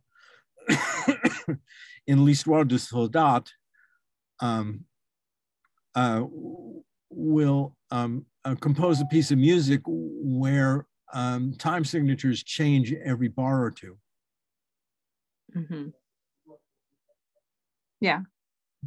To what we find really beginning with bebop, which is that there are layers of rhythms existing simultaneously, which is what they call polyrhythms. And I argue that beginning with bebop, the properties, uh, uh, the principles of emergent properties seem to apply uh, because the principle of bifurcation can be shown even in music notation and made visible even in uh, uh, music notation with melody, with harmony, with harmonic rhythm, and with percussive rhythm. And I argue that it is jazz musicians more than anyone that have cultivated a science of cognitive bifurcation, that it's part of their training. And they learn to process music in real time as they exist in all these different dimensions melody, harmony, har harmonic rhythm, and, and percussive rhythm, and are able to process bifurcations from the other players as well as initiating them themselves.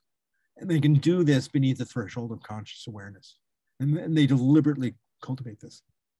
Well, so you see that too in J.S. Bach's music as well.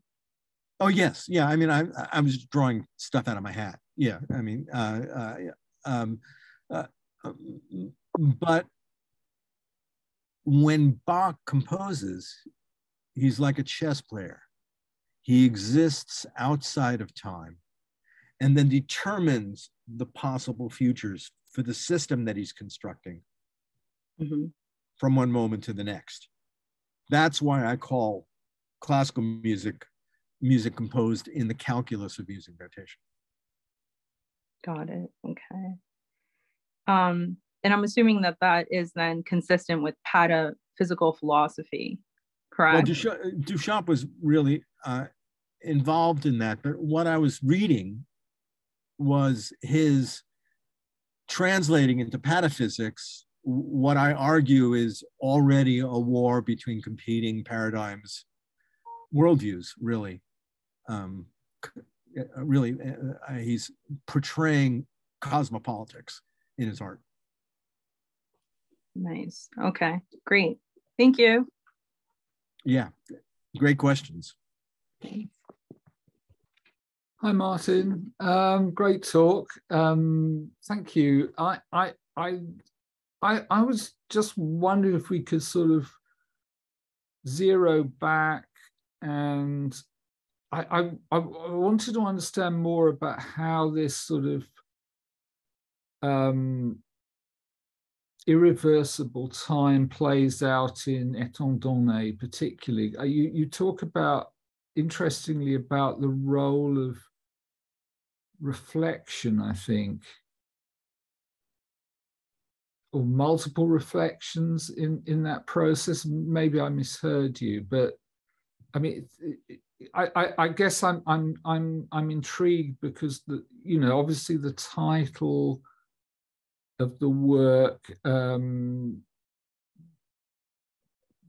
makes a sort for me at least makes a connection between the sort of idea of an epistemological given the idea of an encounter. There is some sense of staging an encounter. Um, and yet of course the encounter at least in in, in um, the aesthetics of the encounters, we say find it in Deleuze, is not necessarily un- construable in terms of an epistemological give and say the, the, the thesis, you know, criticizing Sellars' um, famous myth of the given. So I, am kind of wondering how that this this this this this this, this um, irreversible temporality and this um, encounter with something that is not, however, given as such, as a kind of determinate yeah. thing, kind of plays out in this in this work. And I'm just wondering if I kind of understood that there's a role of reflection. But for example, in in in the kind of um, self-consciousness of one's own voyeurism, uh, confronting, you know, confronting the, the, the body and the, the, the, you know, there's this this sort of, in a sense, pornographic um, aspect of the work that, that perhaps plays a role here. So, you know, I'm, I'm just wondering if you could say a bit more about that. Yeah, that's a great question. Um, if you remember, Duchamp distinguishes between two kinds of hinges, which is also a reference to the chess treatise. One in the plane and the other in the mind. So in the plane of the work,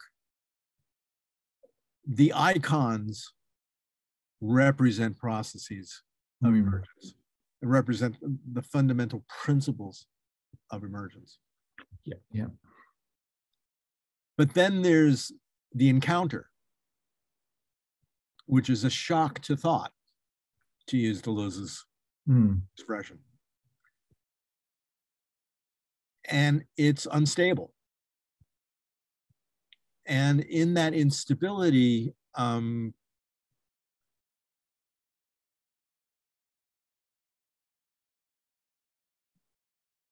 theoretically,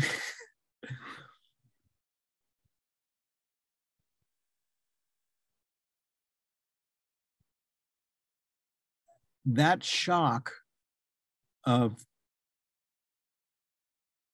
titillation and embarrassment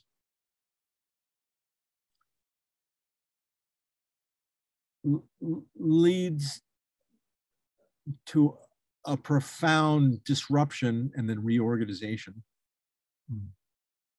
as in a moment of illumination upon which art starts to be something different that by incorporating the cognitive processes of disruption of the uh, by incorporating the deliberate disruption of cognitive processes into the work of art itself you've really changed art from the Kantian object, whether beauty or sublime, to a distributive event. Mm. In, involving both the artist and the, and the observer. That's really that's really nice explained, uh, Martin. I appreciate that. I, I, it, and, it, it kind of makes a nice it, it makes a, a, clear connection between your your uh, uh, you know your account of the aesthetics of, the, of this visual work and and of course the the the um, the irreversible temporality of improvisation, which is kind of you know I guess inherently irreversible. Um,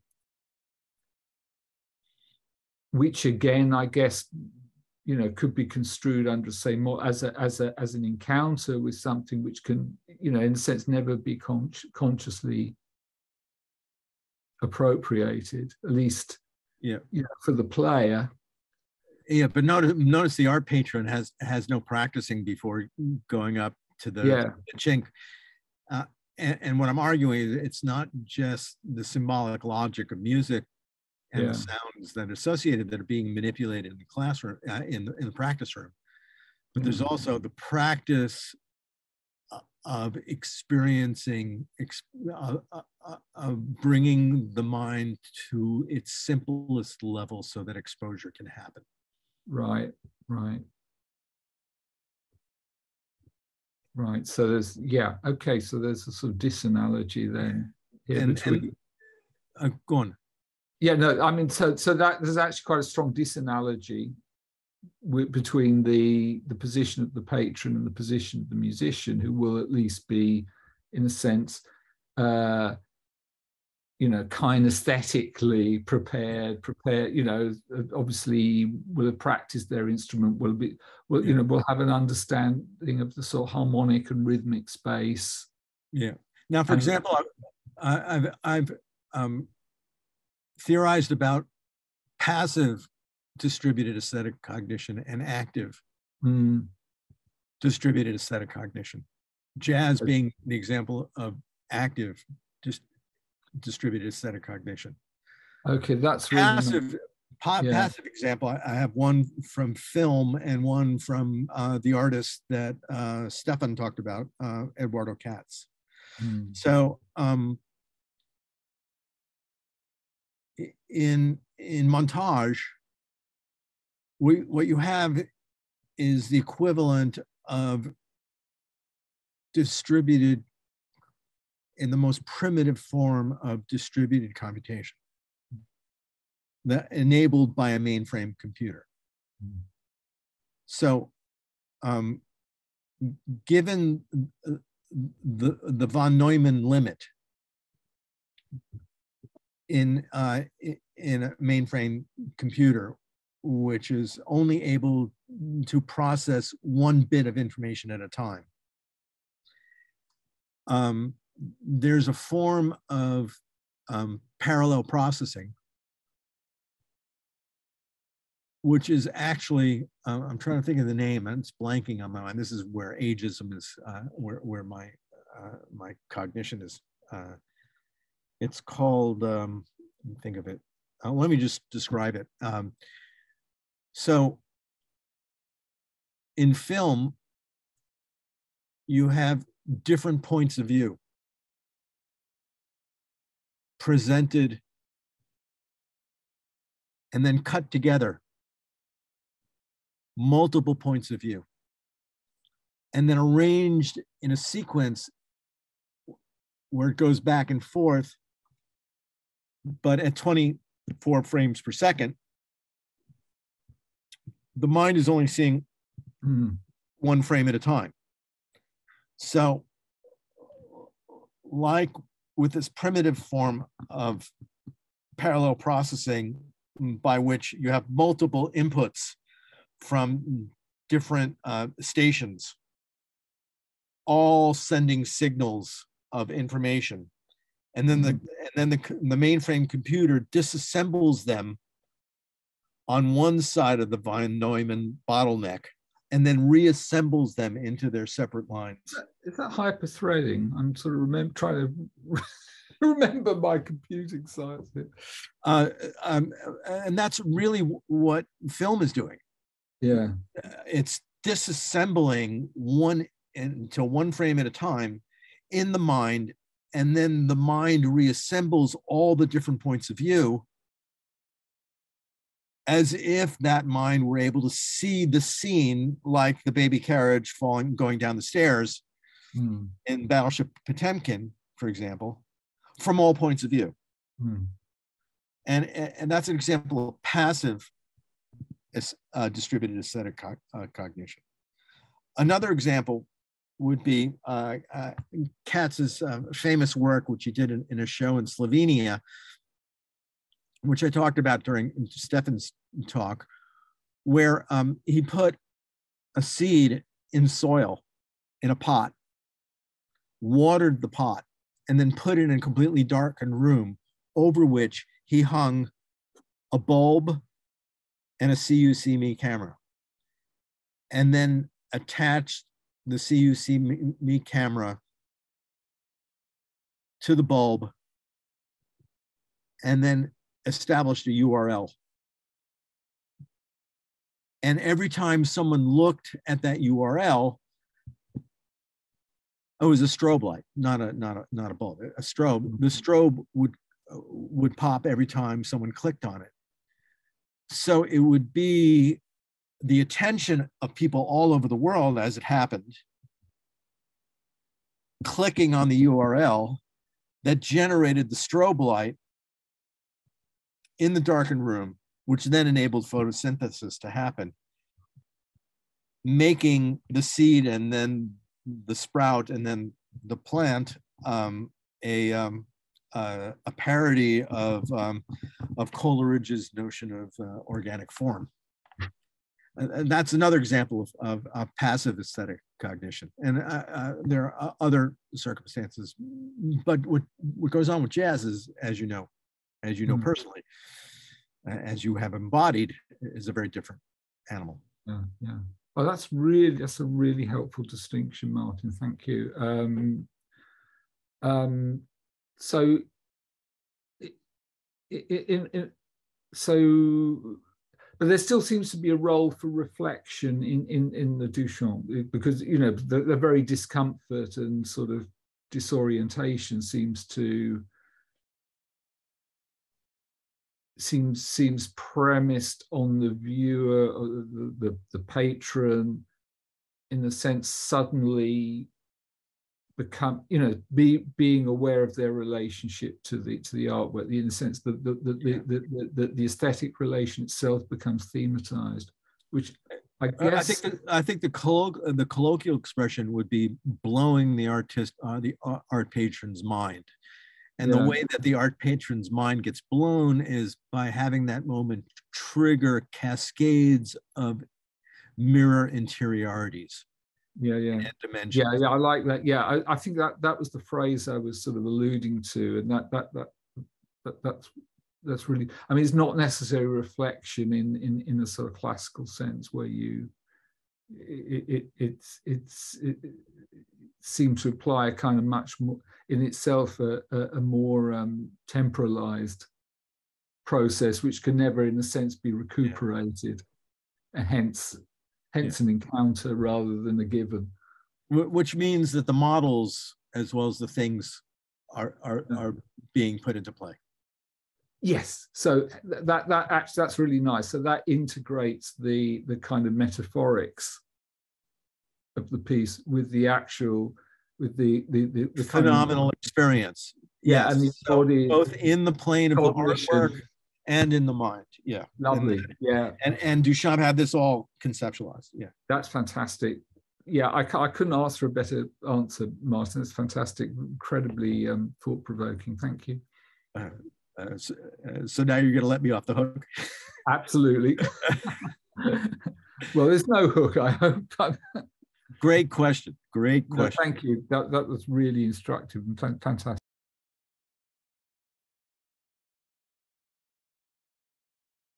So there's a from Ada. It's interesting that Poincare was trying to move away from an analytic paradigm to move away from universal explanations, but tries to replace it with probability. And in trying to do so, he also utilizes uh, statistical probability in science and philosophy. Interesting contradiction. Yeah, I think I think that was right. I, I don't know how much he would have completely bought into that, but he certainly set the stages for other people to follow. But um, he was influenced by Kronecker. I mean, he partially bought into uh, the intuitionist project. And it was Brouwer that really uh, put it together. And Brouwer, as I mentioned, was a student of Husserl, who, along with Bergson, and, and Husserl cites Bergson as, as a major inspiration uh, for creating a model of cognition that had to begin with um, irreversible time.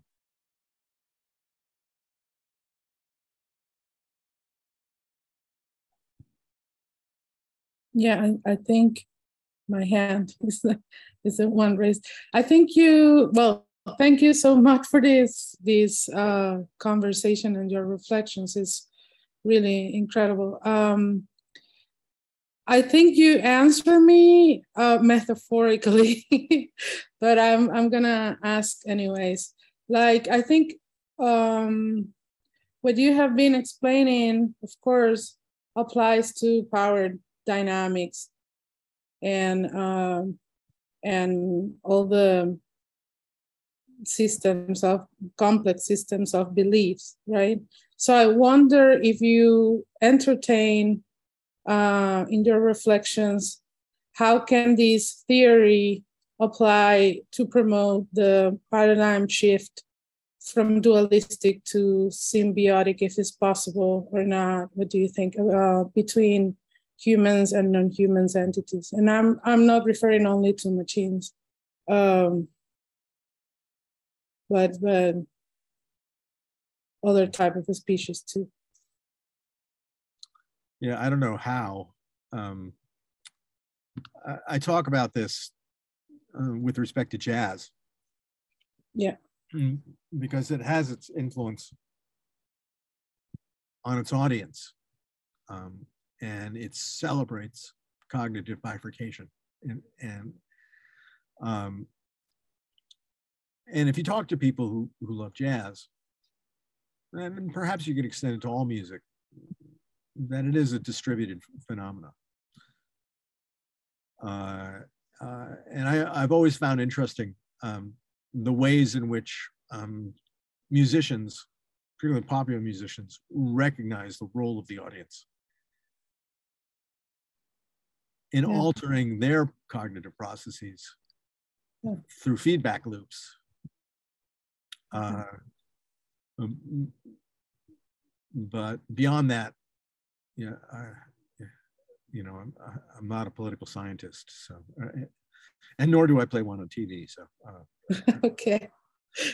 Yeah, I know it's it's a complicated subject, but I think I I got. That's why I said that I I got probably my answer from the metaphorical example. Um, thank you.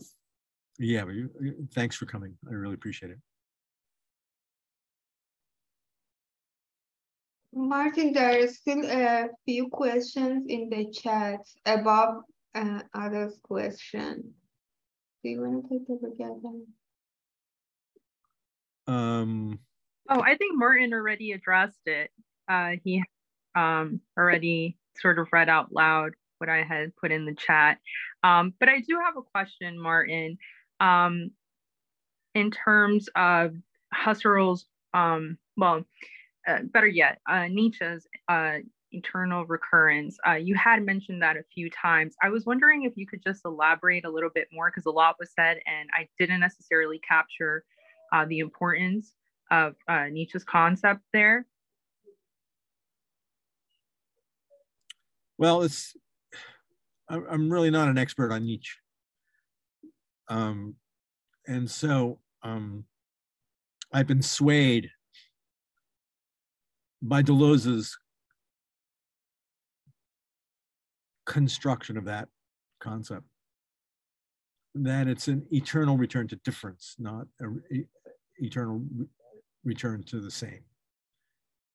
So Okay. it, it's really an expression of pure contingency. That the Okay. eternal return is It's not an eternal return to the same, it's an eternal return to difference. right. Okay. Because I've never read Deleuze. Um, so um,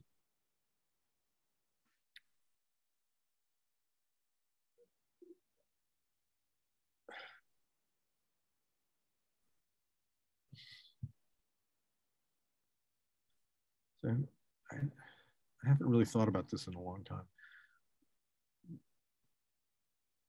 But from the whole notion that you can have one instant to the next, that's calculus, right? Yeah. That's infinitesimal calculus, the ability to divide time into an infinite number of um, of still points on a on a line.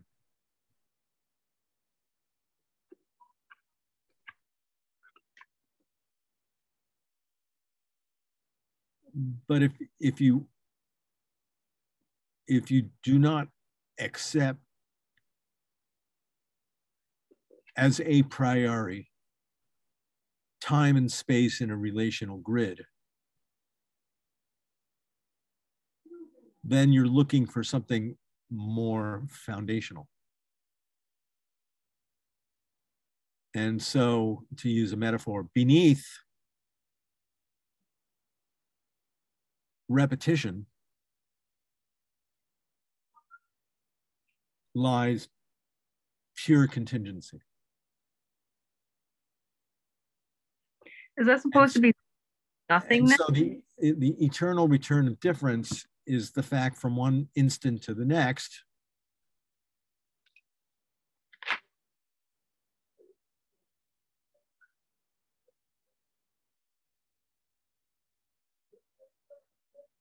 There's only the contingency of irreversible time.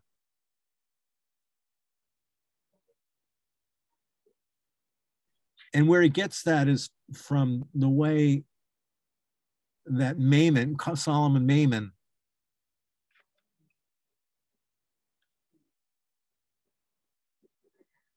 challenges Kant, a challenge that Kant himself recognized as cogent.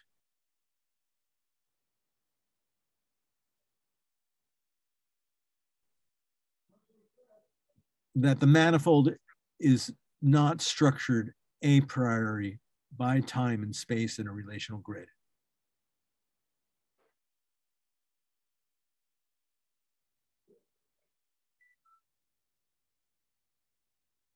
But by the spontaneous emergence of relations between one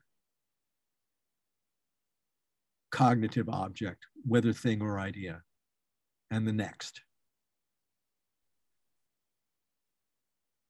So, what Nietzsche's talking about from that perspective is, is what underlies, for example, what I was talking about with Kronecker doing the same thing with numbers between one and two. I mean, what is underneath the object. And what Nietzsche says, according to Deleuze, is everything else is a human construct. There is nothing but pure contingency.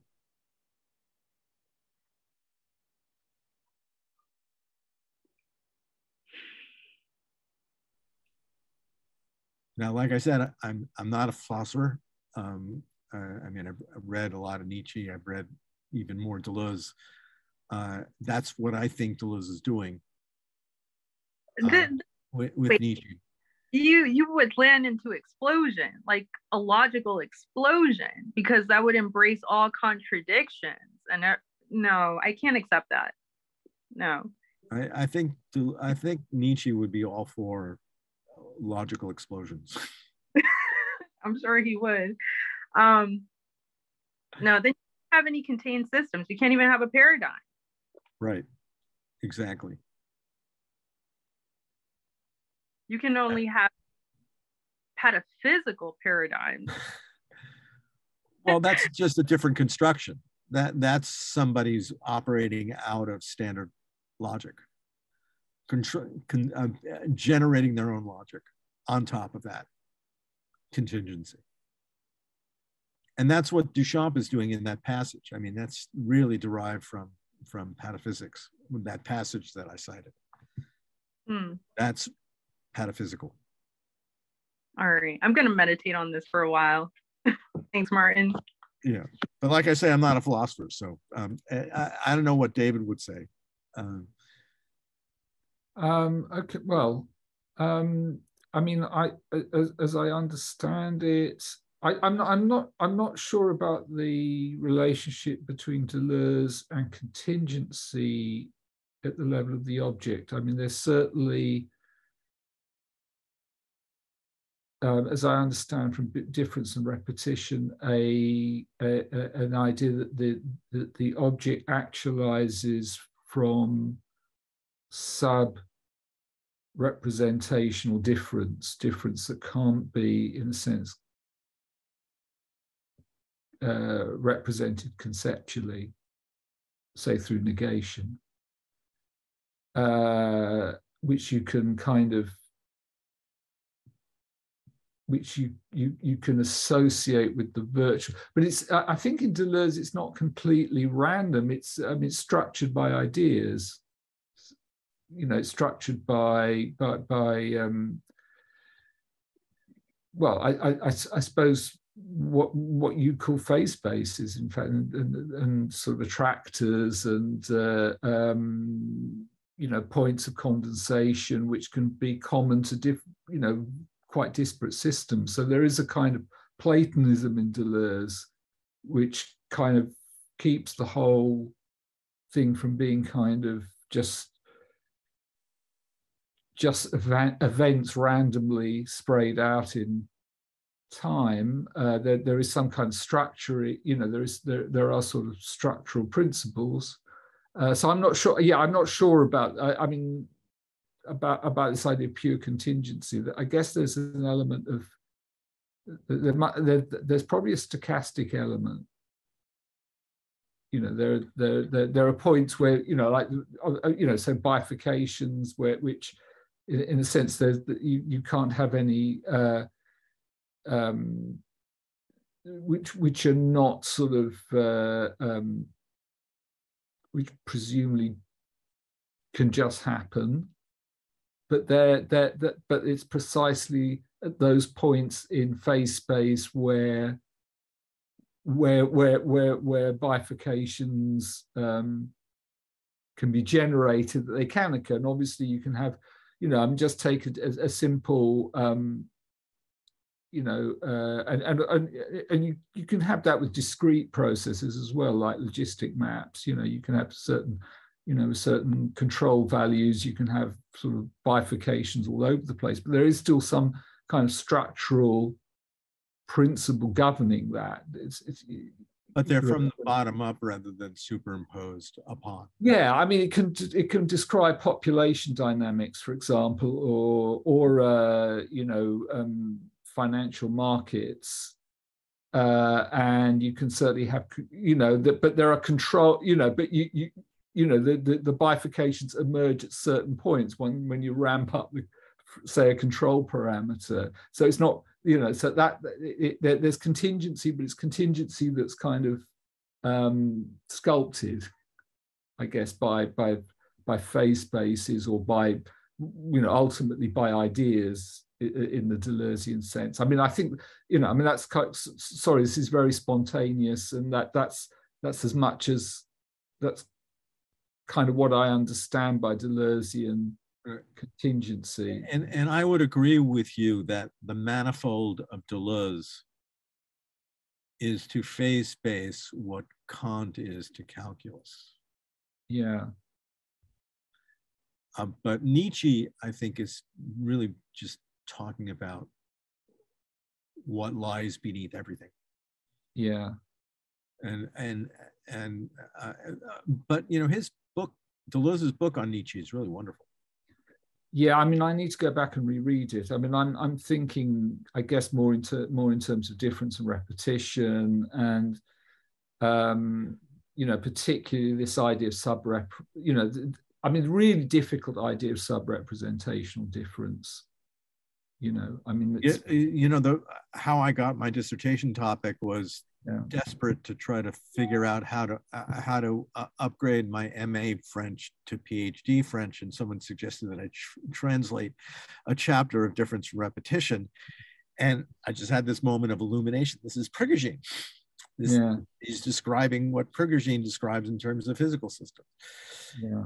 And i think there's a correspondence there. Um, if you whether whether you want to believe in natural law or not it's certainly interesting from an analogical yeah. point of view. I think i think it's you know as i said I, am sure you're right. Um, i think you know uh, uh, uh you know that that I, I i'm i'm not sure i i'm not sure i even sort of grasp this notion of sub-representational difference. You know I, I can just see that it's essential to deleuze's whole approach, his his contestation with Hegelianism. Um, the, you know, the, so it's, it's it's difference that can't be reappropriated. It can't be reversed. It can't yeah. it can't be understood through negation. In the sense you're just pitched into it, and in that sense, it it underwrites the idea of the event and the encounter that you've been yeah exploring. Uh, so um, how now how you can see now you can see what the look yeah I, am I'm, I'm more um, sketchy on the sort of Riemann kind of um, sort of differential phase spaces. I mean, I I always understood them as a kind of extension of the calculus, um, but in a sense without kind of presupposing a sort of you know without with yeah, well, I mean, with you know, a way of sort of understanding curvature without sort of placing that curvature within a particular um, uh, uh, a, a, particular kind of neutral space. But my my my my my my grasp of Riemann is is, is very kind of sketchy, so I, I, I won't say anything more. well, well, this is why I think the connection between Kronecker and Poincare is so interesting. Yeah, because Poincare basically reduces, starts from scratch with mathematics. And he reduces mathematics to the continuum and integers. And the continuum emerges in the relation between one and two. That's really interesting. And phase space is really a modeling for a continuum for physical processes. Re that's really interesting, and I'm I'm wondering. I mean, it does sound a lot like intuitionism. Uh, the worry there might be that it's it seems to be a notion of the continuum which is kind of predicated on on on on the kind of phenomenology of the continuum. Now, maybe I'm wrong there and and that's where and that's where Heidegger gets it too, because Heidegger yeah, which is you know obviously contrasts say with the kind of set theoretical structuralism where you identify the continuum with the um, uh, the, the, the the power set of natural numbers, which is the kind of first well. It's it's it's it's uh, it's it's it's uh, uh, um, it, it's it's not the it's not it's not the infinity of natural numbers, but the the kind of the the um, the one you get by if you like permutating that as a power set. Um, but I mean, for me, that's quite a powerful idea, precise because it's non-intuitable, and I'm, I'm, I'm, and that's actually a worry I have with Deleuze, whether there is a kind of intuitionism kind of running through Deleuze, not not in terms of givenness, in terms of the understanding of continuity. Well, this is the large project which has gotten me in such knots. Mm. You know, partly because of my, the difficulty I'm having in doing work these days, but um, uh, I'm trying to construct a genealogy of Prigogine first by suggesting that you cannot separate irreversibility, immanence, and emergence, mm. and suggest that there's a genealogy which goes back through Bergson, through intuitionist mm. mathematics, to Maimon's critique of Kant, to Spinoza, mm. and then even further back to the, the chaos and redemption of Luria. Mm. And um, uh, so anyway, that's that's the you know, and given uh, the limits of my mathematical training and the limits of my philosophical training, um, uh, it's it's been an interesting time trying to trying to. but uh, but anyway, that's mm. so you, have got uh, uh, you're raising a problem, which is a problem. Yeah, it's a problem for it's a problem for me. I guess it's a problem for anyone who's trying to um, you know reconstruct Deleuze anyhow. Yeah. Yeah, how Deleuze is part of that. How do you how do you deal with this kind of sub-representational dimension without, in a sense, falling back on some idea of structure, some kind of sort of. But the fact that Deleuze knew both Prigogine and Varela, I find really fascinating. So. Yeah. Yeah.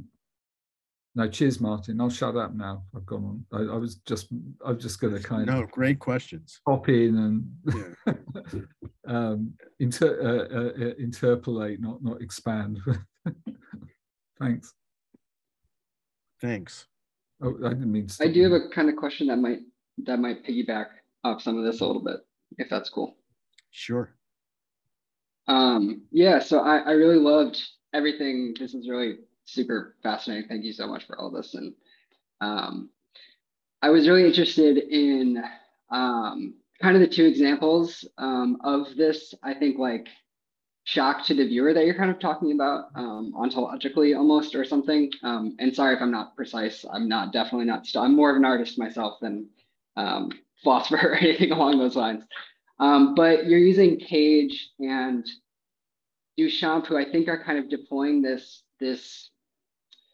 Um, yeah, I'm not exactly sure what to call it, but sort of like an interruption in this kind of calculus or kind of like um, malaise i think that we fall back into ontologically that brings us into this like um, scientific mode of experience or I, am not sure exactly again what to kind of classify it as but duchamp and cage cage kind of opens things up. So like again in my understanding of deleuze this is almost like the becoming the body without organs kind of tactic or something but it seems like what you're saying with duchamp is it almost like closes it back in on the subject in this like infinite recursion. It makes your yourself aware of yourself in this kind of pattern that that that that is a sort of structure that falls back on difference or or um, an inability to fall back on itself almost. And like that's the kind of like thing that's laid bare in that installation is what I was kind of understanding. Maybe I'm a little off on this, but I'm wondering if you have other points of reference or like those kind of seem like two extremes on the pole of ways of dealing with this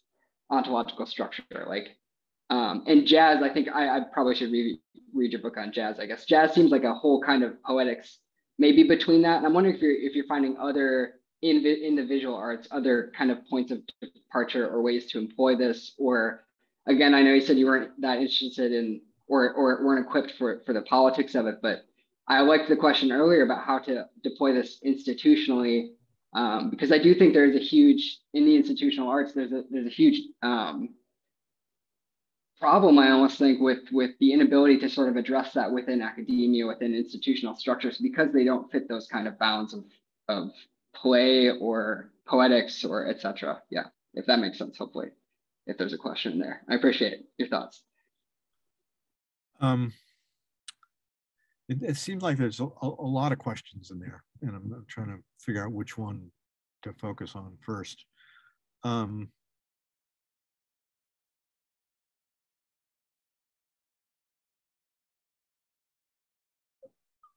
I only have four articles out on jazz.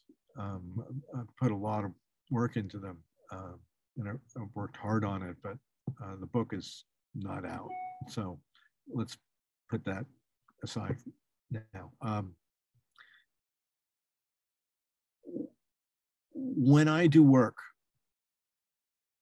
I'm following Deleuze's suggestion that we can only know philosophical concepts in relationship to scientific percepts and artistic constructs. And from each corner, it's the same. You know, we only know artistic constructs by reference to the science and philosophy of the age. So when I write, I tend to focus on one or a few scientists, one or two philosophers, one or two works of art. So, and I've done that, you know, uh, uh, with um, Pynchon in the in the novel. Ezra Pound is a kind of counterexample in poetry. Um, John Cage originally and now jazz. Um, Arakawa and Gins, the avant-garde architects who were also artists. Uh, Kiki Smith's work. So I tend to try to keep my focus narrow to make the connections precise. So that's, in a sense, what I do. You know, different people will do different things, but um,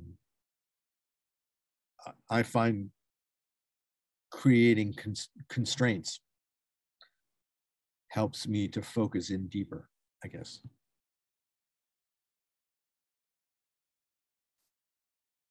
Does that help? Yeah, no, that's that's fantastic. I, I'm taking notes. I appreciate it. Uh, Ada, where's Ada? Is she still here? Hi, I'm still here. Hi. Hi. Um, you, you uh, uh, referring to um, Kronecker and Brouwer in, in, in uh, intuitionist mathematics. Say, why only the relationship between one and two and, and not, let's say, one and 5 mm -hmm well, before we can get to five, we have to go through two, three, and four. And we're just talking about the emergence in the mind of a mathematical object. One. And mm-hmm. then there's a, a deferring in time to the next mathematical object, which is two. And then there's a relation between the two. And that's what both Maimon uh, focuses on with things and ideas. And what Maimon focuses on in this third category that he insists that mathematics is a form of cognition distinct from things and ideas. Uh, and so the mind thinking begins to count the integers one, two, three. And for Kronecker, he strips the whole field of mathematics down to two things integers and the continuum. And the continuum is what enables the relations. That, that's what emerges from those relations beneath the numbers. And so you can't get to one unless you go through two, three, four, and five. Once five exists, or 10,005, or, you know, 10 to the order of 20, um, then you can start forming other kinds of relationships. But in terms of the in terms of the genetics of mathematics in its generative nature, one and then two and then three and then four. Um, so if I understand you correctly, then so um, to conceptualize one and five, I really have to have like micro conceptions of the relationship between one and two, two and three, Yeah. and three and four, and four and five. Before you can talk about one and five. Yeah. Okay, and this is um, it, it wouldn't be something that I would cognitively process. It would be like the subconscious, right? Because I don't really, if I'm talking about one and five, I really don't think about the relationship between the other numbers between one and five. Well, I, I certainly don't think about it, and that's one of the reasons why I'm not a mathematician. But I, I think mathematicians do think about this, uh, and that's why they become mathematicians because they grab onto that form of of of, cogn- of, of cognitive objects, and then they begin manipulating them, so forth. Okay, thank you.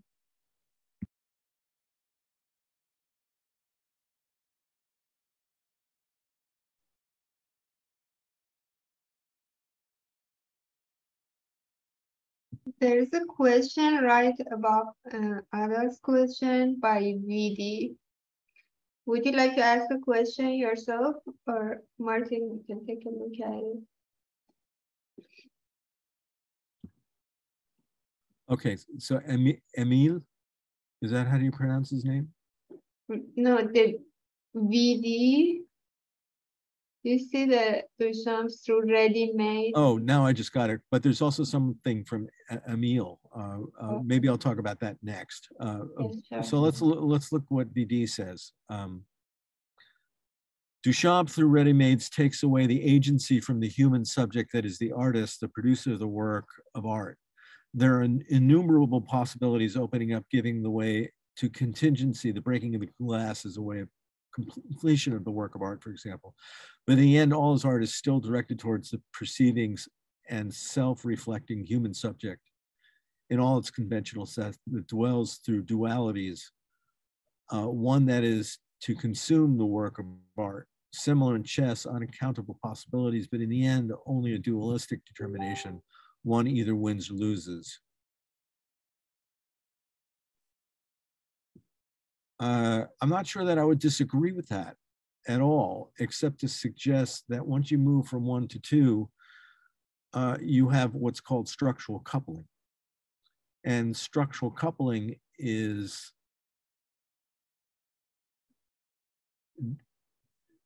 just one way that you get to distributed cognition.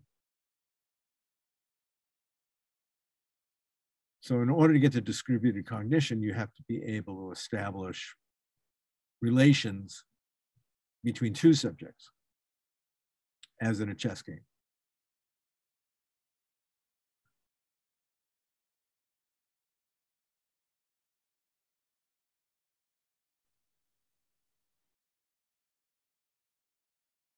But Duchamp also talks about art reception. And that's where we move from a structural coupling relationship to a distributed process that occurs through time, which has to do with acceptance, rejection, reputation, so forth. And that's the long scale version of uh, the issue that you're talking about in terms of uh,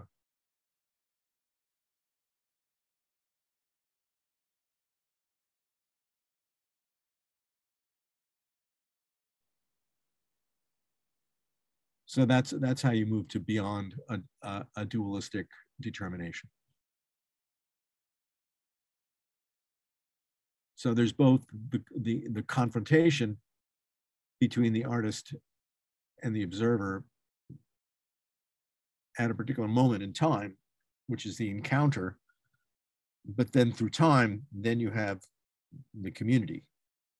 and that's where art becomes a distributed cognitive process of accept, acceptance and rejection. Is that, uh, uh, do you have a follow-up from, from that?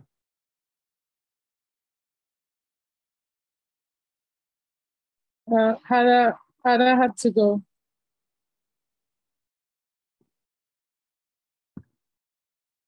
She had to go? Yeah, yeah, she left. She sent oh, okay. a message saying that thank you, but she needed to. Uh, well, she missed my really great answer. So no, no, I think she heard you, and it's really, yeah. I mean, it's amazing. Okay, so em, Emil, is that how you pronounce his name? Is he here?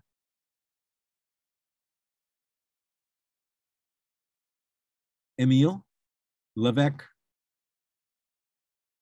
Yalbert. I, I can't pronounce, I'm sorry. He says Deleuze describes the point of rupture as the irrational cut that appears to have meaning for its own sake in cinema's faux raccord. At the same time, he defines irrational on the basis of irrational numbers and Foucault's thought of the outside.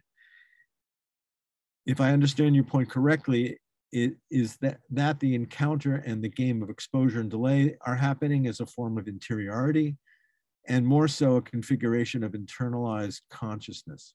So my question would be, how does Deleuze's emphasis on life and creativity as capture forces from the outside fit or does not fit in your reading of Duchamp's exposure and delay?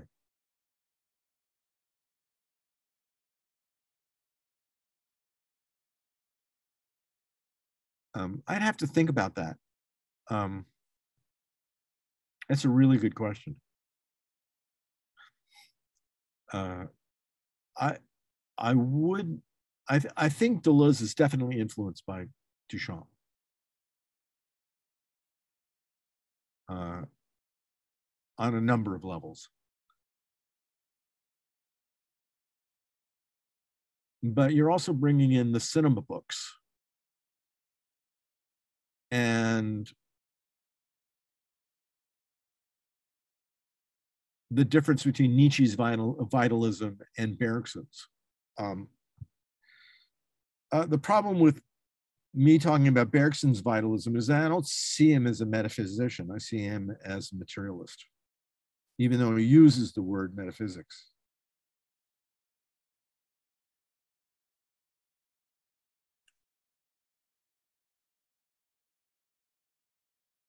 And the reason why I say that is because I think he's working out of a materialism based on um, immanence.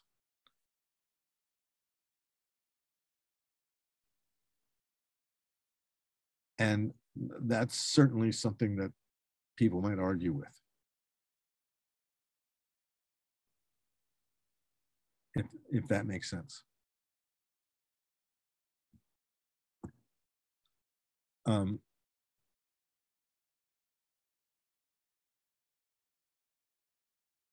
so emphasis on life and create Deleuze's emphasis on life and creativity as capture of forces from the outside. Um, I would have to unpack that and look at the passages. I don't think I agree with that characterization of Deleuze but I, I would need to think about that much more carefully than I can here. So my apologies for that.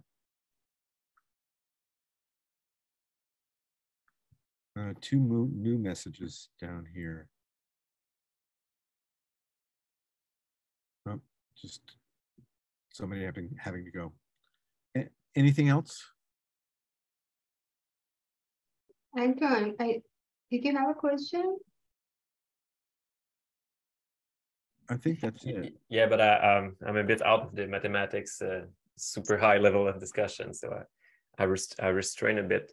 It's because as as an artist, I'm taking this whole talk as um, a means to to produce and to act, and so I'm not much on the philosopher mathematician side, which I, I will be highly admire.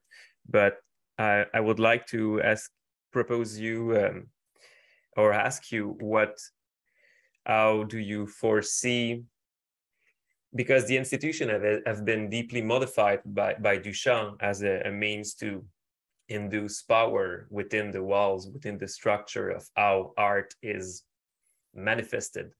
And so, so the the effect is made, so but we we will never redo this kind of of same paradigm shift.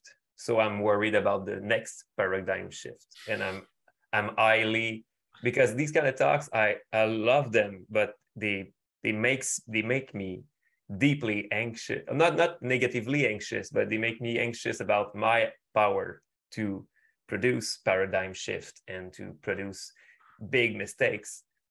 And so and so here we are with the technology being able to witness art at a, at a higher speed. I, I feel speed is is very important right now because you don't only see one you, you are not only witnessing one artwork that produce this kind of self-reflection mirroring of your inner self. You see a thousand of them each day and so at an higher rate. And and this this rate this stress of re-inducing self-consciousness feels like sometimes sometimes it's a one parameter of a certain violence of um, of uh, continuing this game, this game of chess. And so I would like you to know, maybe we, we have been a, lot in the past, but what do you think about the jazz of the future, about the this intermingling of tomorrow? Uh, I really haven't thought about the jazz of the future because I find it so difficult to try to articulate what jazz is like in the present. Uh, but there's something that jazz musicians know that the rest of us need to understand, I think.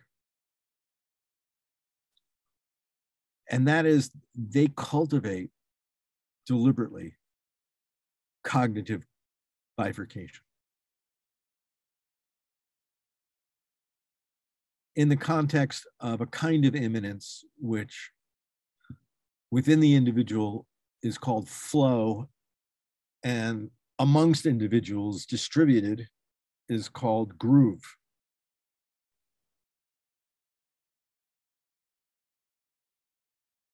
And they spend a lifetime cultivating the capacity to cognitively bifurcate within multiple dimensions melody, harmony, harmonic rhythm, and percussive rhythm.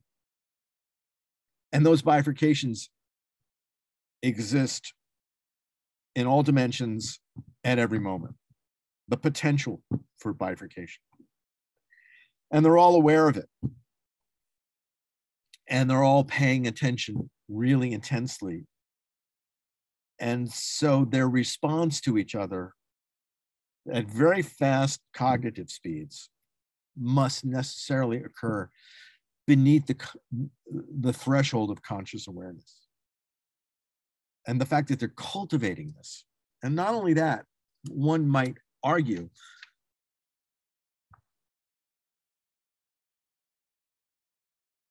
that the usual gap between conscious cognition and unconscious cognition gets dissolved here. The conscious cognition that goes on in the practice room must necessarily exist on the bandstand.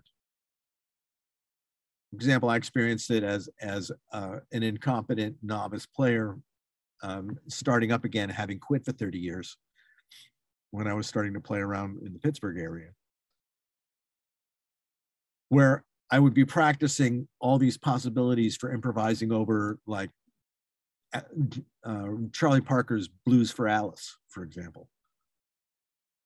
And I would come up with all these possible melodic ideas. And then in the process of superimposing that from the top down onto that musical moment, I've stopped listening to what the other people are doing.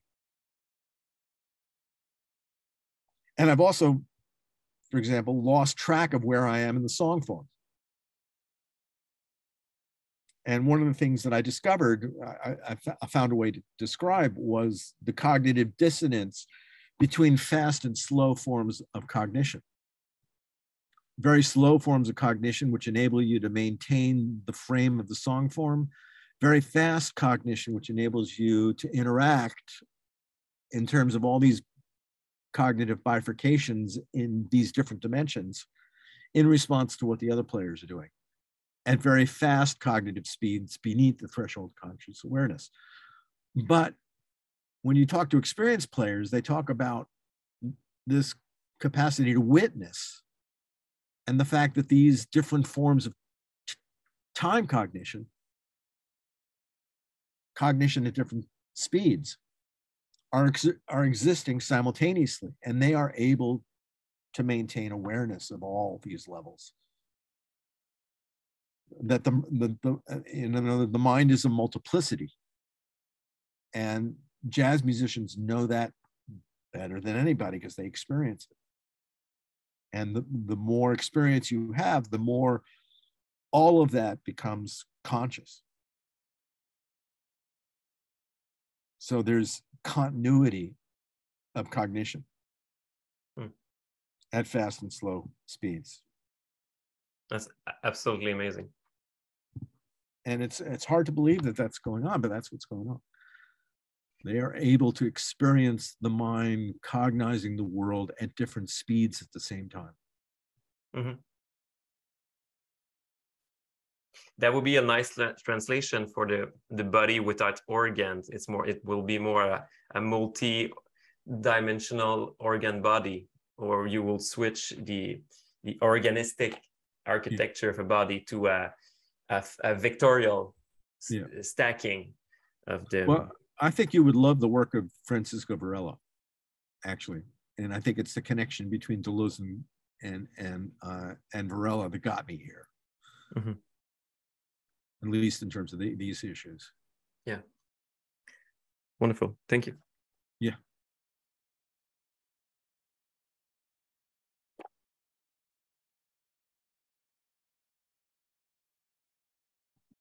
Okay. So we are uh, over two hours and a half. And uh, thank you so much, Martin, for the amazing, amazing talk. Yeah. Thanks for having me. It was really, wonderful to re revisit this work. Uh, this was my uh, most, uh, a good hunk of this stuff was my dissertation work. Um, uh, one, one aspect of my dissertation work. Um, uh, both the discovery of the connection between Feynman diagrams and plot trajectories in gravity's rainbow, as well as this connection between Poincare and, and Duchamp came out of my dissertation. And this, this uh, discussion of posthumanism and grand narratives enabled me to suggest that th some of these issues that, uh, that post-humanist philosophers, critical post-humanists, uh, or meta-humanists, or whatever you uh, want to refer to, um, uh, that this was already, these issues were already at work in the avant-garde strain of high modernism. So I hope that was um, uh, uh, useful. Yes, for sure. Hopefully um, we can continue this talk later if you're available in like different forums, maybe like reading groups or more like lectures looking forward uh, to have yeah. more more of this discussion with you. As David knows, these are exhausting, and I'm, you know, my health has been kind of frail lately. So uh, let me think about it. Uh, it's something I, I really would like to do. I'm not sure that I have the energy to. Yeah, yeah. If you if you if you feel comfortable, uh, also thank you so much, David. Thanks everyone for contributing to this discussion and um, and the feedback's been great. really really yeah. great questions. Really yeah, great I, I really got a lot there's a lot to chew over from this martin. Thank you so much. Really you know. Coming from you david. No no i i, I think i, I but don't I, but don't tell you i said that right? Thanks for listening. I really appreciate it. Take care. Thank you very much. bye bye Bye. Bye. Bye.